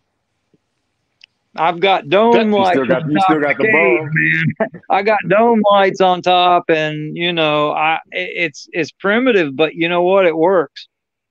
That was one of my questions still, for you, Chuck. We, we still got uh, Bravo members that um a couple of our members use that. So hey, yeah, man. there's three of them. There's three of them that still do it. There, I was to say there can't long, there, long there you, can't be many. Cat, I hate, there can't be there can't be many, but you know what? If if you, still, it still works. If you get it where you die, you got it dialed in and it works. You know, why change it? I don't know. Yep. I'm just comfortable. Hey, I got to ask you this question, Chuck. So, you know, um, Pat, as up, you've Pat? been keeping keeping over the years, can you tell us like how your early setups look um, and like what you have changed over the years, but also let us know like how those eyelash vipers help influence how you kept the chondros and all those vipers that you had before, and if, if you use any of that stuff. All the, the the eyelash vipers, the temple vipers, the lateralis. Uh, what up, Pat? Uh, all those uh, arboreal pit vipers were I mean, you know, they're they're real similar to chondros. You got it's a pain in the ass to get the little guys going, and um, uh, you know they need basically the same setup and basically the same husbandry. So you know it's pretty similar. Yeah, um, that's what I was thinking. Yeah, it, it definitely helped a lot to have done those guys before doing the chondros. Okay. Uh, but I, my little guys start out in little shoebox tubs, and then they go to the sweater box rack, and then they go to a big like uh 60 quart tub. Then they go to an 80 quart tub. They're in a tub, a, a sterilite tub, until they go into a, a Neodesha cube or a Vision or some you know adult thing. Okay. I keep them in tubs for a long time. I think it's smart. I do think that that's really smart. Uh, well, only because because as you move them around, you know, move them up in size, you know, at different times of their lives, like they might revert. Yeah. So you might have to put them back in a smaller tub. Well, also one of my one of my theories that probably could be nothing at all except in my head. Uh, it seems like um, the the subadult Kofiau, the two, three, well, the three, four year olds, when when they move, if you like sell one and and ship it somewhere and it gets set up in an adult cage, uh, it seems like they're really prone to change when that happens. Like if you keep their if you keep their their surroundings, their environment the same, they're more likely not to change. Does that make sense? Yeah, I mean, that's what, what Keno was talking about earlier. Yeah, that's why, I, like with all those 2016, like a, like a chameleon snake. Yeah, man. well, that, there, there's definitely a chameleon factor with these guys, but that's a whole different story. But uh, mm. I, I figured, you know what, I'm going to keep their environment exactly the same for four years or five years till I'm ready to set them up to start breeding. And with the 2016s, it it seemed to work. All of them stayed. There was one of them that turned. My only true changeling turned at like three and a half, just short of four years, three and a half or four years, and all the rest of them of the ten snakes uh, were were beautiful yellow until five years old, or right at about five years old. And one of them, my, my my main female that's laid three years in a row now, she was yellow uh, for until she was seven, until after her her second clutch. Um, in fact, I think I sent you like a little video clip, Travis, and I sent a picture of her laying on a clutch. She's like curl, curled up on a the clutch. video. I don't think the video clip came through in the okay. email. It might not have, but there's like a still picture of her laying on a clutch, and she's mm. yellow as hell. She was she was yellow as hell um, through the first clutch and the second clutch, and like a month or two after the second clutch, she started to get dirty yellow. She got dirty yellow after like uh, a couple months yeah, after. You got to talk to her. Like, what are you doing? hey man, seven seven years of yellow. I'm okay with that. Yeah. And, and now she's turned into this two tone thing.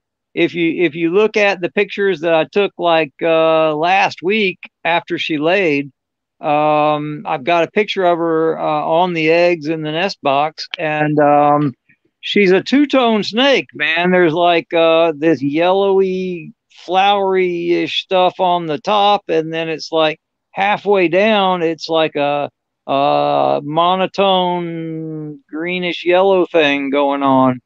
Uh, it's very weird. I, it's something I haven't really seen before.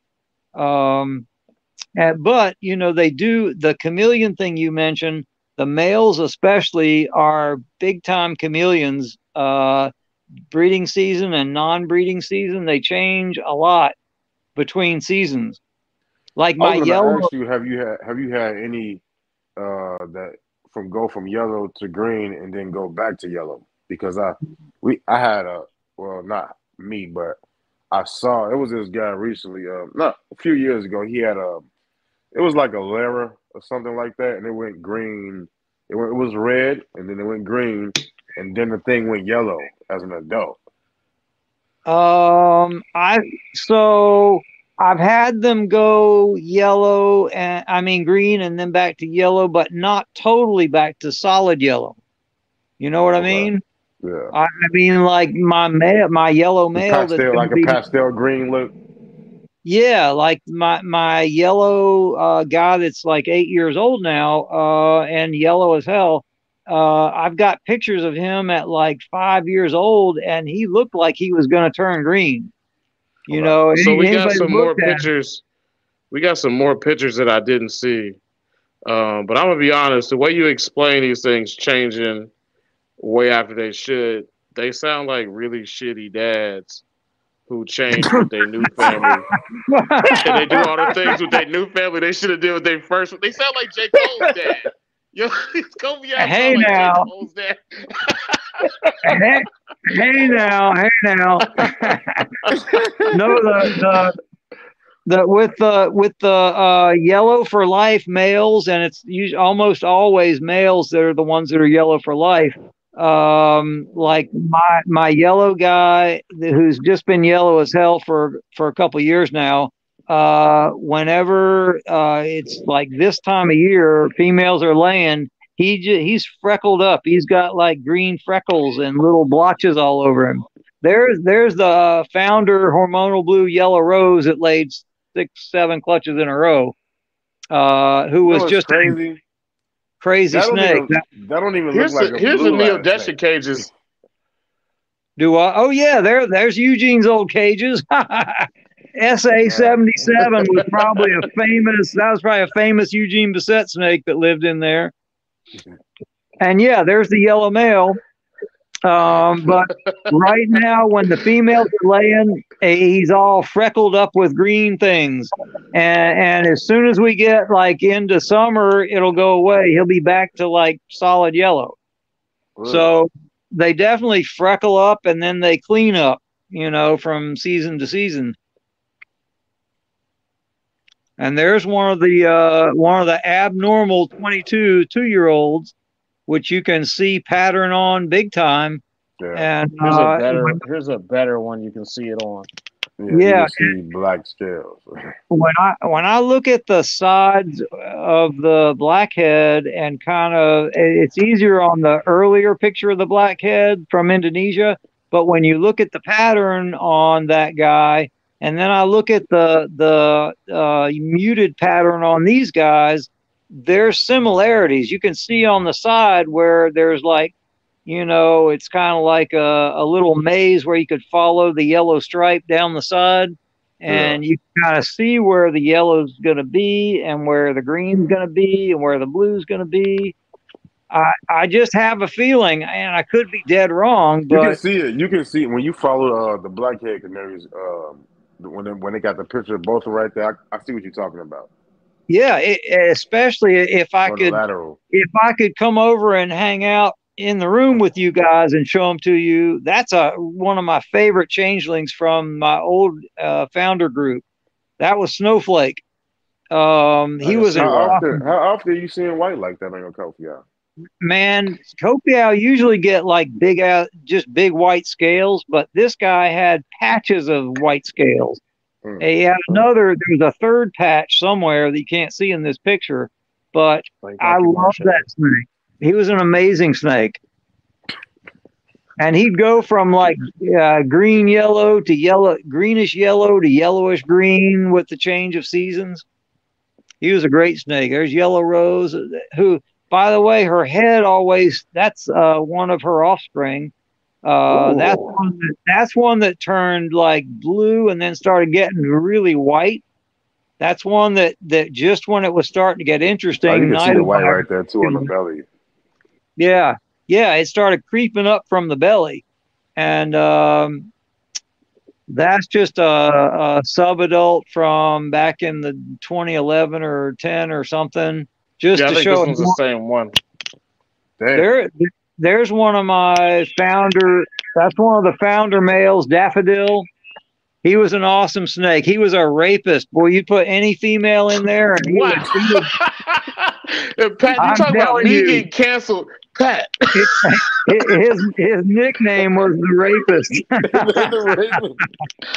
listen, Pat, Ah. listen, Pat. You're not gonna say anything about me today, bro. and you could you could dangle a rope in there and he, he would be locked up with it. He was he was an awesome snake. He's a beautiful snake. That's beautiful. It's interesting how the, uh, the, the the the dorsal didn't go lavender on here and it went white instead. Well, whenever they hit like four, about four years old, it goes from lavender to white. You know, those lavender blotches, they go from lavender to white at about like four, three or four years old. It's like from two to three, they're nice and lavender, or, you know, one, two, and close to three, they're lavender. And then at about three to four, they turn white. And, and with the males, a, a good many of them, I, like you know i would say mm, maybe 20% of the males are gonna stay yellow and it pisses me off so much when you know somebody when uh i don't know if it was daniel boswell that that i made a comment on and, and some guy made a comment that uh gonna turn green they're gonna turn green and I you saw know All right, Pat. It was probably Yeah. Patrick no it wasn't i don't think it was patrick but Patrick only do that. Patrick only I do that tried- to blue line stuff. i tried I'm just messing with you, Pat. I'm just joking, bro. I tried not to be I tried not to be negative in my comment, but I did let them know that it, was really frustrating to see comments like that because I know they're just repeating what somebody told them. Uh, but you know, when you actually have spent 20 years messing with them uh, and you know better, it really irritates me when people say, "Oh yeah, they all they, Kofiau turn green." No, they frickin' don't. Don't don't tell me they turn green. You see, Chuck about to Do not sass Chuck Vogel. Do not sass about his Kobe owls. He'll get you. yeah, I've got, I've got, Pat I got- if, you, if you see uh my fault, if you see DFW, if you see that DFW comment on uh, uh that's Patrick. That's Pat. say that again. Here's your babies. If you see uh if you see us pull up a comment DWF Arboreals, that's Patrick. Uh, DFW. Okay, said- yeah, yeah, He yeah, told yeah, us to yeah. tell you hi because you you probably you probably don't know his screen name. I, No, I do. T- I, I I shoot him. Uh, uh, we communicate every now and then on uh, uh Messenger. Okay. That that was uh, Kofiau babies. yeah. There's um, I don't know which. I think those are twenty twos or twenty threes. I don't remember if those are. This is a different. I think this is a different clutch from the first one, or possibly. So but this here, Look at you, you Here's a- still got them. Uh, you still got a them moment. old school Aceto rides. this is my girl. Uh, this is my girl, uh, 03, uh, 1603, who's still in her nest box right this minute as we speak. And she's going to lay a lot of something. She, she might be a 20 egg clutch. That look like a big girl. Yeah, she's a big girl. And, and the, her literal, Here's the other girl. her littler sibling will just laid, yeah, she just laid 15. Unfortunately, I thought the 15 were all going to be good to go, but uh, it looks like four or five of them are were not fertile. They've gone in the past like four or five days. They've slowly, a couple of them went bad. So I, I'll be happy if you know 10 or 12 of them go the distance. But look at the two tone thing going on with her. I was gonna say, is Yeah. she from the Blackhead uh, Project too?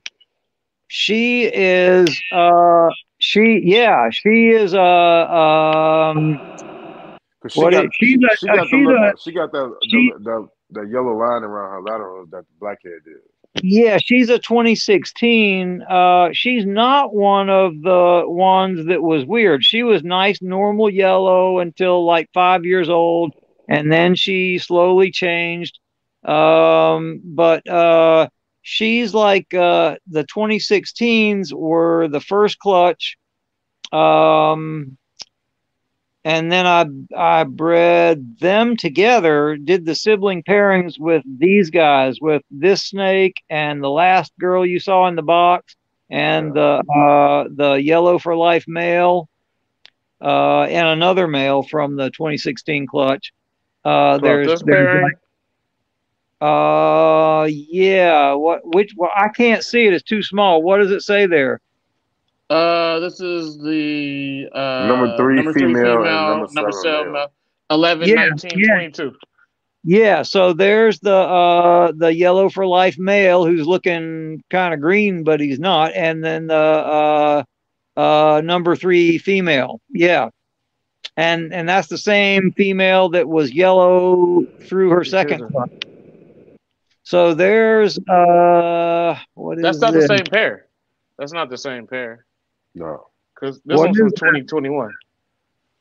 Uh Yeah, that's not. Yeah, that's a different pair. That's a This previous is, pair. that's a whole that's bunch of number Kofi that's having that- sex. that's number It's seven and three. That's number seven and three Yeah. doing the hot tub thing there. Oh, yeah, Um, get in the water. That's the one that led to the 22 clutch. Um, it's hard as hell for me to tell with the damn phone because it's like postage stamp small and I can't see. That uh, says uh, this number seven and number three male. It says Yeah. population. This was 11, 19, 21. Yep. So the that's a sibling. Those guys are siblings from the 2016 clutch, and, and they they are the ones the that have the uh, uh, the snake that Matt rescued from the auctions that Darlene and I both failed to realize was a pure Kofiau. Thank God Matt realized it and he bought it and sent it here.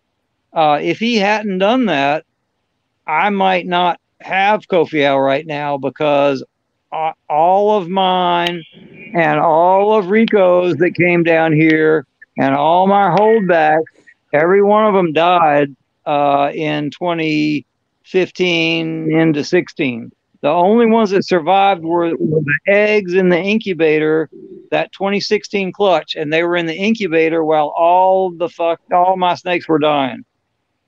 And just like Matt, just like Matt, I lost like uh, 95% of of my snakes. The Shout out to Matt one- Morris, great guy.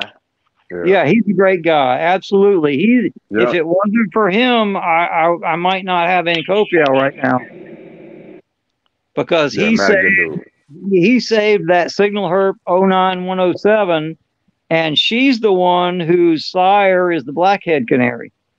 So if it wasn't for Matt, if it if it wasn't for Matt, none of this would be happening. So I, I'm my I'm, I'm forever in Matt's debt. Yeah, but you That's know, wild, I think that's I, I think that you come from that era where people were really just they were really rooting for each other. Like like I think that in your area it was less about selling snakes. It was more about, hey, we really do have a real community. I think that- Absolutely. I think that that's what it was all about, and you guys actually do show it. I think that in, in our day and age, a lot of it's about attention. A lot of Yeah. it's about you know saying you can sell a snake for however much. But Yeah. and you know, a lot of people, a lot of people are really good people still. Like we do have a really good community, but yeah. uh, I I It's- think that money and attention do complicate some things sometimes. Well, and, and social That's media true. because you know you didn't used to Yeah. have everybody. Uh, you know you didn't used to have everybody seeing what you're doing and what you got. Uh, social media changed it a lot, but um, yeah. it used to. I hate selling snakes, Travis. I, I I'm uncomfortable selling snakes. Hey man, me too. I hate it. I hate it. I hate it. And, and Rico, Rico used to constantly give me crap because, uh, you know, the first time I went to uh, Daytona in like 2010 with a bunch of Kofiau to sell, you know, I thought, man, I can't price these things at 2000 bucks. I'm not Signal Herp. Nobody's going to pay 2000 bucks for these. So I priced them at like 1200 for females and 900 for males. And when they opened the damn doors at, at 10 o'clock on Saturday, by like 12 o'clock, every damn one of them were sold. People came in and bought every damn one. you And told Rico, Rico, Rico, you told Rico Rico- how much you sold him for. He Oh, wanted to no, choke no, you. no. he Rico- to choke you. Rico had already walked over there before the show started, and he said, "He said, Chuck, what in the hell are you doing?" He said, "What What are you doing, man? You you can't do this. You know they're two thousand dollars. What What are you doing?" And I told him, I said, "Man, I'm not you, Rico. I, people aren't going to pay this." And Hey, he goes, man. "Yes, they will." So he he I gives me kinda- shit. He gives me Yeah. shit about being the world's worst businessman. Uh, you know, it's like if ever you're going to go in business with somebody, don't go in business with Vogel because you'll lose. You know, I'm I'm one of the buy high, sell low type people. hey man, I'll be honest with you. Uh, I don't. It's Like, still I- other like, people. It's still with the- other with people the- out there like out, out here like that too. Chuck, by the way, go ahead. It's- Chuck. Yeah, with, with, with, with the snake business, when it comes down to it, man, it's just kind of just like you know, I'd rather sell a snake to somebody I really, really like more so than sell it to a random person. Me for more too. money, and, and Yeah. a lot of people, a lot of people, I gotta be honest with you, I don't like them, don't want to talk to them, I don't answer their messages. Uh, but when it comes to people that I really do Damn, like, Chad, you just. You, Well, I'm, just, I'm you glad you're being this, Chuck. honest.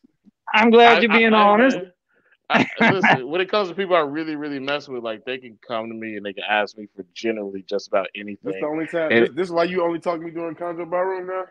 What are you talking about? I talk to you. Listen, I talk to you all the time. Listen, I talk to Keno all the time. Listen, I, I know. Listen, if, if you follow me on Instagram and you see when I put those memes up of what it Keno sounds like at 7 a.m. with his I random know. I know you're not talking to me about following you on Instagram. yeah, that's yeah, not you, because we know you don't. Yeah, follow. you you know I don't. But every but everybody else like those are really the conversations I had with Keno at 6:52 a.m. Yeah. Yeah. You remember you remember Taquarius? That was a 6:52 a.m. conversation. And Pat, I see what you're saying, man. I think that I think that as far as like what we've done with CBR, like we got a good crop of people that we deal with. Um, there's people that you know that may not necessarily be the best people to deal with, but I think that within CBR we got Oh, a good group Pat. of people. Oh, That we Pat- do it. Oh, Pat definitely one of them ones. Yeah, Yeah, Yeah. and, I, and Pat- Pat, you know Pat I most do. definitely one I of talk the to you all the time, Pat. that's what. That's why we stay giving Pat his flowers on that show. You know what I'm saying? We love Pat. Yeah, I've always wanted to just have enough, you know, ha- have enough financial security, which I'll never have because teachers don't get paid much. Uh, you know, I wish I was wealthy enough that I didn't need the money, and then I would just like give snakes and trade snakes with people who I thought would do well with them. But uh, especially with the last uh, couple of years of, you know, getting my ass kicked by COVID and and one thing after another. Uh, you know, I've kind of desperately needed a little bit of money, but I'm real uncomfortable selling snakes for a bunch of money. How's your I- body I- doing? Um, how's your I body really doing after that? How's your body doing after that COVID? By the way, everything good? Your lungs all right? You Yeah. know, I'm I'm never going to be the same. I mean, I've got I got lesions in my lungs that are not going to go away, and I've got I get out of breath really easily, and uh, I'm so so freaking tired that uh, you know if I do anything uh, that takes any effort at all, man, I'm like in the bed the next day all day, and I, I just don't think I'm ever going to be the same after it. Uh, I, I had it. I was positive from like Thanksgiving until Christmas. And, and Whoa. oh yeah, I, I had a fever for like 21 days straight, and and I was I was like coughing up bloody mucus for like I think uh, I've got all this written down. I think that lasted about 13 days. Um, I should have gone to the hospital, but at that Okay. time people were dying at the hospital, and I didn't want to be around Yeah, people. no, you you didn't want to Yeah. go for. I think that you did it right. You thugged it out, but you made sure you was okay. Yeah, well, the pulmonologist said you said I should have gone to the hospital, but uh, you know, at the time, I felt like it was more of a danger to go to the hospital than to just rough it out at home.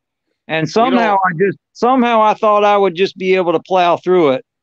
Uh, but it, it did damage to my body, and it's not going to go away. I can I, I've decided after four years it's not going to go away. But uh, but I'm you know I'm a mom. um, Chuck, uh, Chuck, because I got asthma. That's the reason why I asked about the lungs. So I know, I know how it is. Sometimes it feel like Yeah. like like somebody's sitting on your chest. I Um, feel for you because that's my Yeah. thing. You know, I feel like I, I feel I'm aware of breathing, you know, and you're not supposed to be aware of your breathing. Yeah. And I'm so look, always Chuck, every now and then, what I want you to do is go um in the bathroom, close the door, and turn the shower on all the way hot, and pull a and pull the curtain back, and just sit on the toilet and breathe in. that's one of the few things I can do to not uh to not feel like I have like somebody sitting on my chest. Yeah. Yeah, and taking a hot shower is one of the few things. And if you I don't can want to, do. and if you don't want to get all sweaty, just pull like a rag. Like I try to boil a rag sometimes as hot as I can get it, and I'll just put it right up to my mouth right here and just breathe that in, breathe that humidity. Yeah. That'll help you too. It'll open your lungs up a little bit. I've got like uh, multiple different kinds of inhalers, and uh, the Yeah. pulmonology guys did all sorts of stuff. But um, uh, you know, I've had to do that pulmonary function test about a dozen times. It seems like, and Yeah. uh, I hate that. And and I'm at about like uh, seventy five percent gas exchange and lung capacity which is Yeah. not real good. You know, I can get I can get dizzy really easily. but uh, hell, there's a lot of people that are dead, and a lot of people that are worse off than I am. So I, I try not to complain too much about it. Yeah, you still, Um, you still you have you like still a- kicking. You think you have like a mucus issue, like where you might need to clear mucus out from time to time? Because I, I take mullein, the herb I don't- mullein, to like to clear a lot of the, the mucus out of my I take herbs too.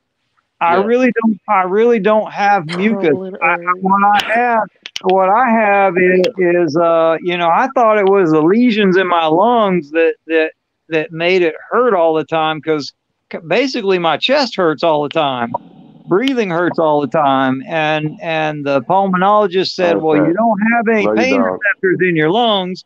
He said it it's in the the muscle between your ribs and the stuff that's surrounding your lungs. Uh, but something there that feels like my lungs hurts all the time. It's just an uncomfortable feeling when I breathe all the time, except when I'm in the hot shower, you know, when I steam up the bathroom. Yeah, That's about the only, the inhalers don't seem to do much. Uh, it's just kind of doing the steam bath thing. Uh, especially since COVID. Especially since COVID. Yeah, I agree. Yeah, a- and I was in, you know, I was in a classroom with 20 kids, And uh, you know, uh, before I got that, uh, before I got, you know, my ass kicked, I had like ten. Half my kids were in the classroom, and half of them were on Zoom. Uh, they were at home, you know, on Zoom and Google Classroom. But even then, having ten or twelve kids in front of me in the classroom, you know, kids are carrying germs, and they got the germs from their parents and their siblings and their aunts and uncles.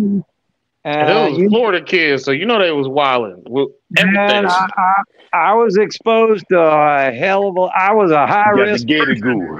It, it was like the gator it was like, goo. it was like tiptoeing to a minefield every day. Hey, what, hey, Chuck, what, uh, what, uh, Young what gator grade goo shooters. What grade do you I always teach? Chuck? like living life on the edge, Travis. what grade do you you know teach? what? So, do what? What, uh, what grade? What group do you teach? What what what age group? What grade? So uh, I I did a, a hands-on science lab for about four or five years, and then I did second grade for about like seven years at another school, and then at the little uh uh um uh what do you call it school um uh the one room schoolhouse it's uh what do you call the schools that are not part of the public schools uh the private charter schools? Charter school, thank you. Charter school. This is another part of my COVID thing is I can't recall words.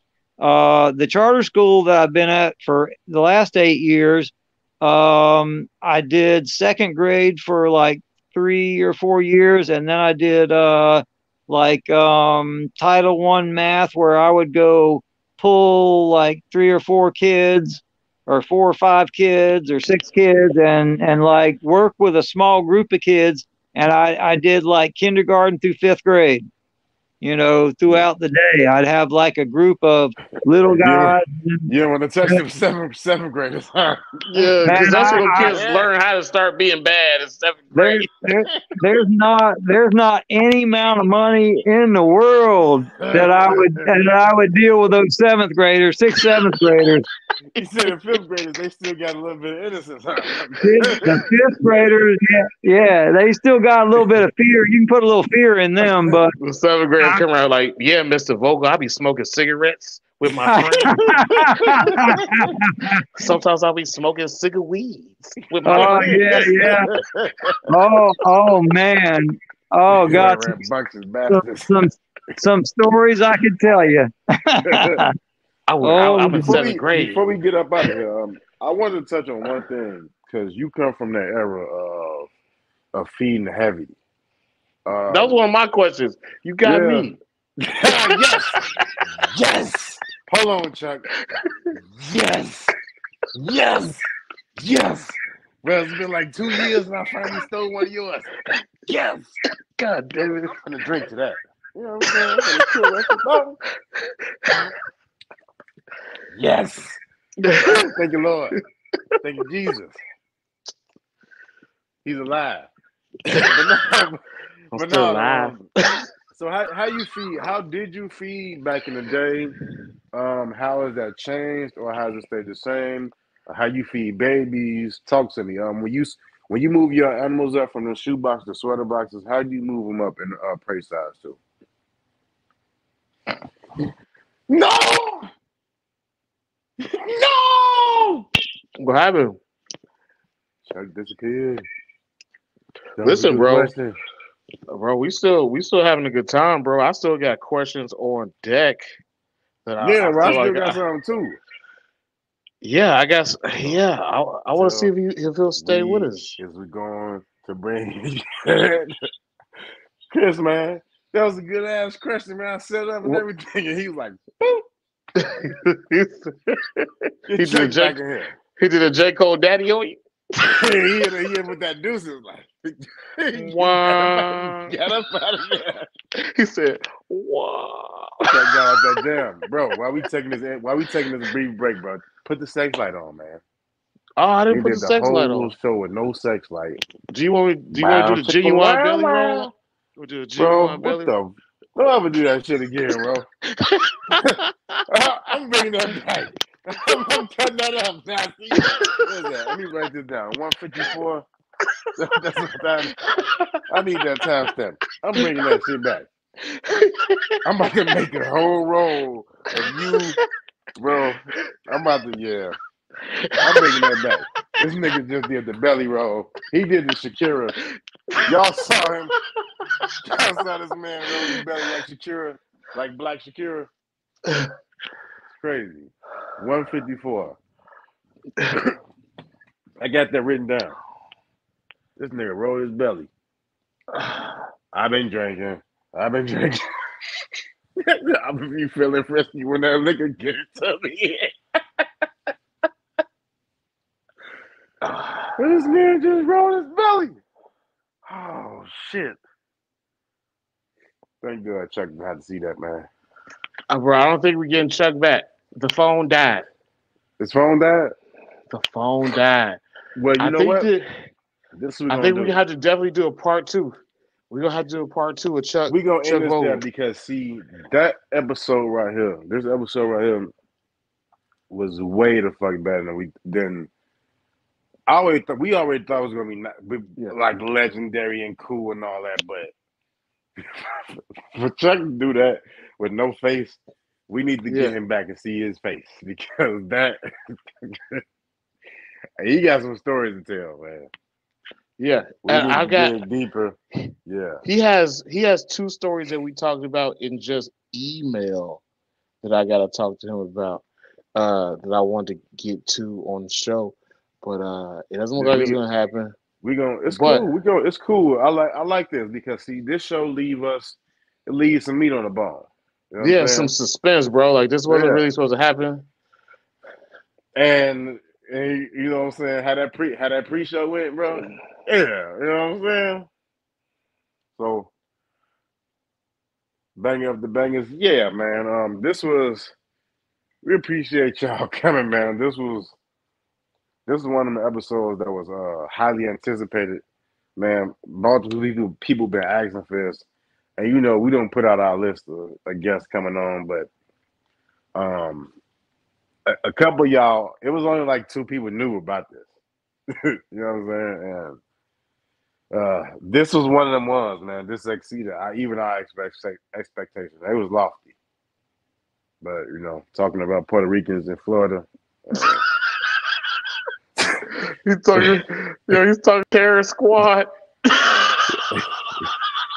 yeah, he took about, He took- he took he Rico's lady from him. squad. he took Rico's chick from him.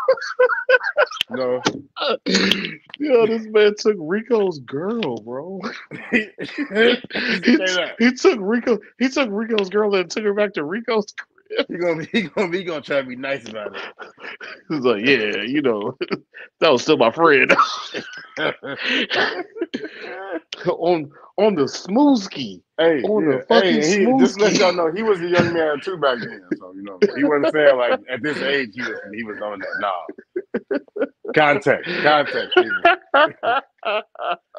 Yeah, Chuck is wild. You know, Chuck got Chuck got some stories to tell, but man, look for that part two. The part two is gonna be coming, and Yeah. uh, we gonna make sure that part two comes sooner than y'all think. We gonna we gonna we gonna move some around because yeah, that's gonna.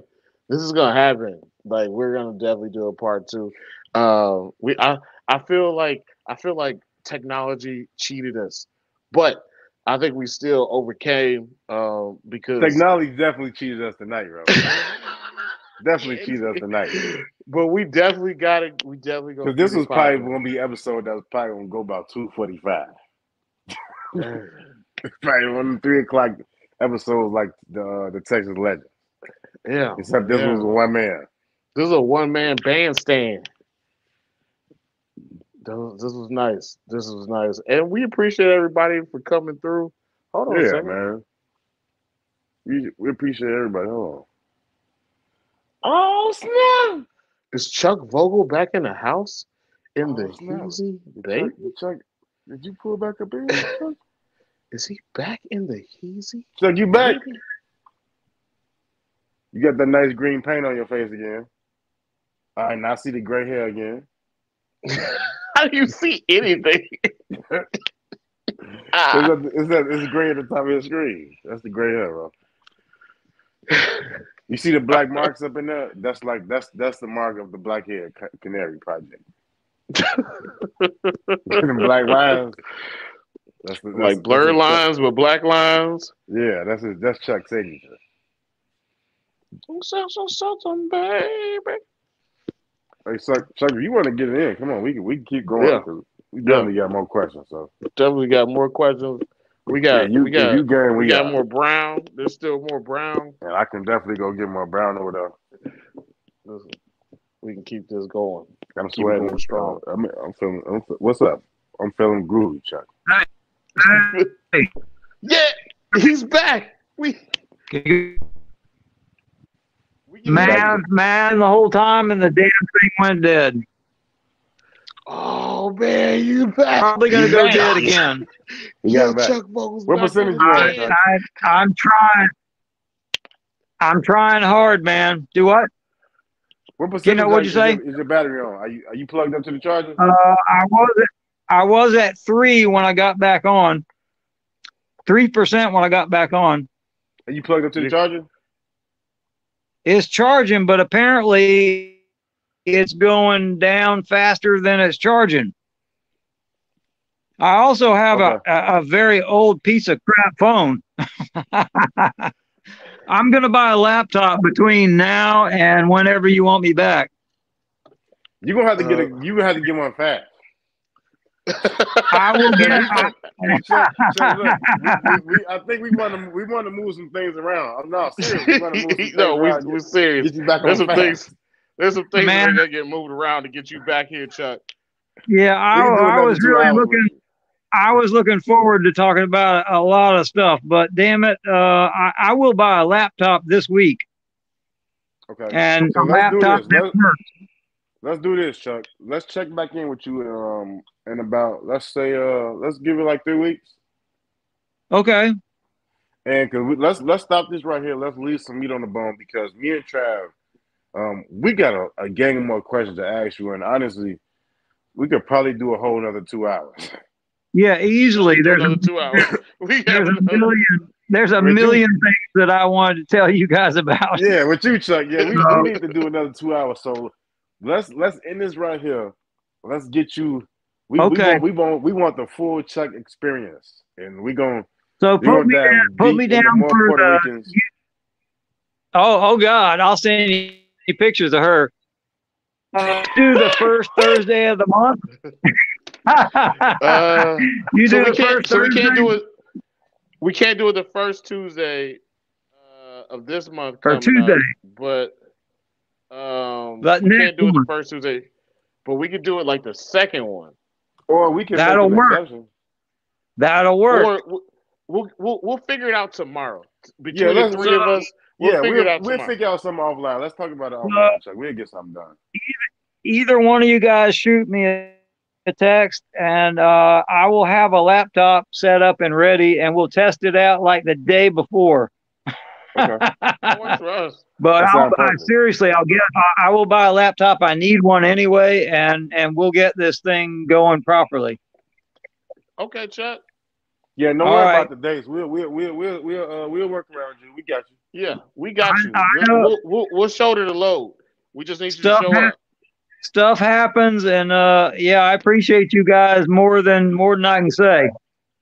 No, we appreciate no, you we appreciate for showing up, we, Chuck. We, we, we, this appreciate been, you. This has been a good time. It, has been, been a good time. time. It's been a good time, but damn it, it could have been better. That's why. That's why we're gonna leave this meat on the bone right now because see this. Yeah, we could. We, we could definitely yeah, yeah, yeah. do a whole nother episode. Yeah, because we gotta talk about you know how how I get them to breed and how I get them to feed and all that stuff. You know, also, I got some questions for you about shows. Yeah. yeah, I got some yeah. questions for you about the era. I got a yeah. lot of questions for you. Yeah. All right. Well, well, let's do it. Uh, just just get send me a text and tell me a date, and I'll be ready for it, and I'll I'll send you some more pictures. Okay. Yeah, we'll talk to you. We'll talk to you about it tomorrow. Actually, we'll be on it. Tomorrow. All right. I, am gonna right. send Keno. I'm gonna send Keno picture of my girl. yeah. Okay. Just don't yeah, tell. Please do that. Thank you. Don't don't tell don't don't tell my wife about it. She doesn't like to hear about that. Yeah, I don't think I she would. tell I don't think that she would, Chuck. You don't. I don't won't think tell she's gonna be okay with this at all. Maz. You know what I'm saying? This would be a. br- This would be you know just like brother Vogel, brother Morgan thing. You know what I'm saying? Yeah, Br- Brother, it sounds like a, it sounds like a like Wyclef Jean Shakira thing.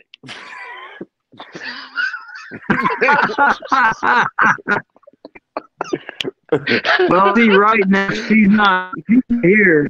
She's not here. She's at, she's up taking care of her parents and, and out of the house for for the month or so. So I can talk about whatever I want to talk about.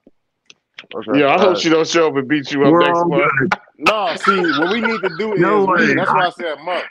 We need to get him back on within the month so he can he can be you know the free Chuck. We don't want him to be reserved. Chuck or guard Yeah, we we Yeah, don't don't wait too on the- on long. the else show, I won't be able. Yeah, I won't be able to talk about certain things if we wait too long. Yeah. Okay. Well, we don't want you we getting like All right, abused man. or You got- accosted on the show. All right, Chuck. We appreciate you.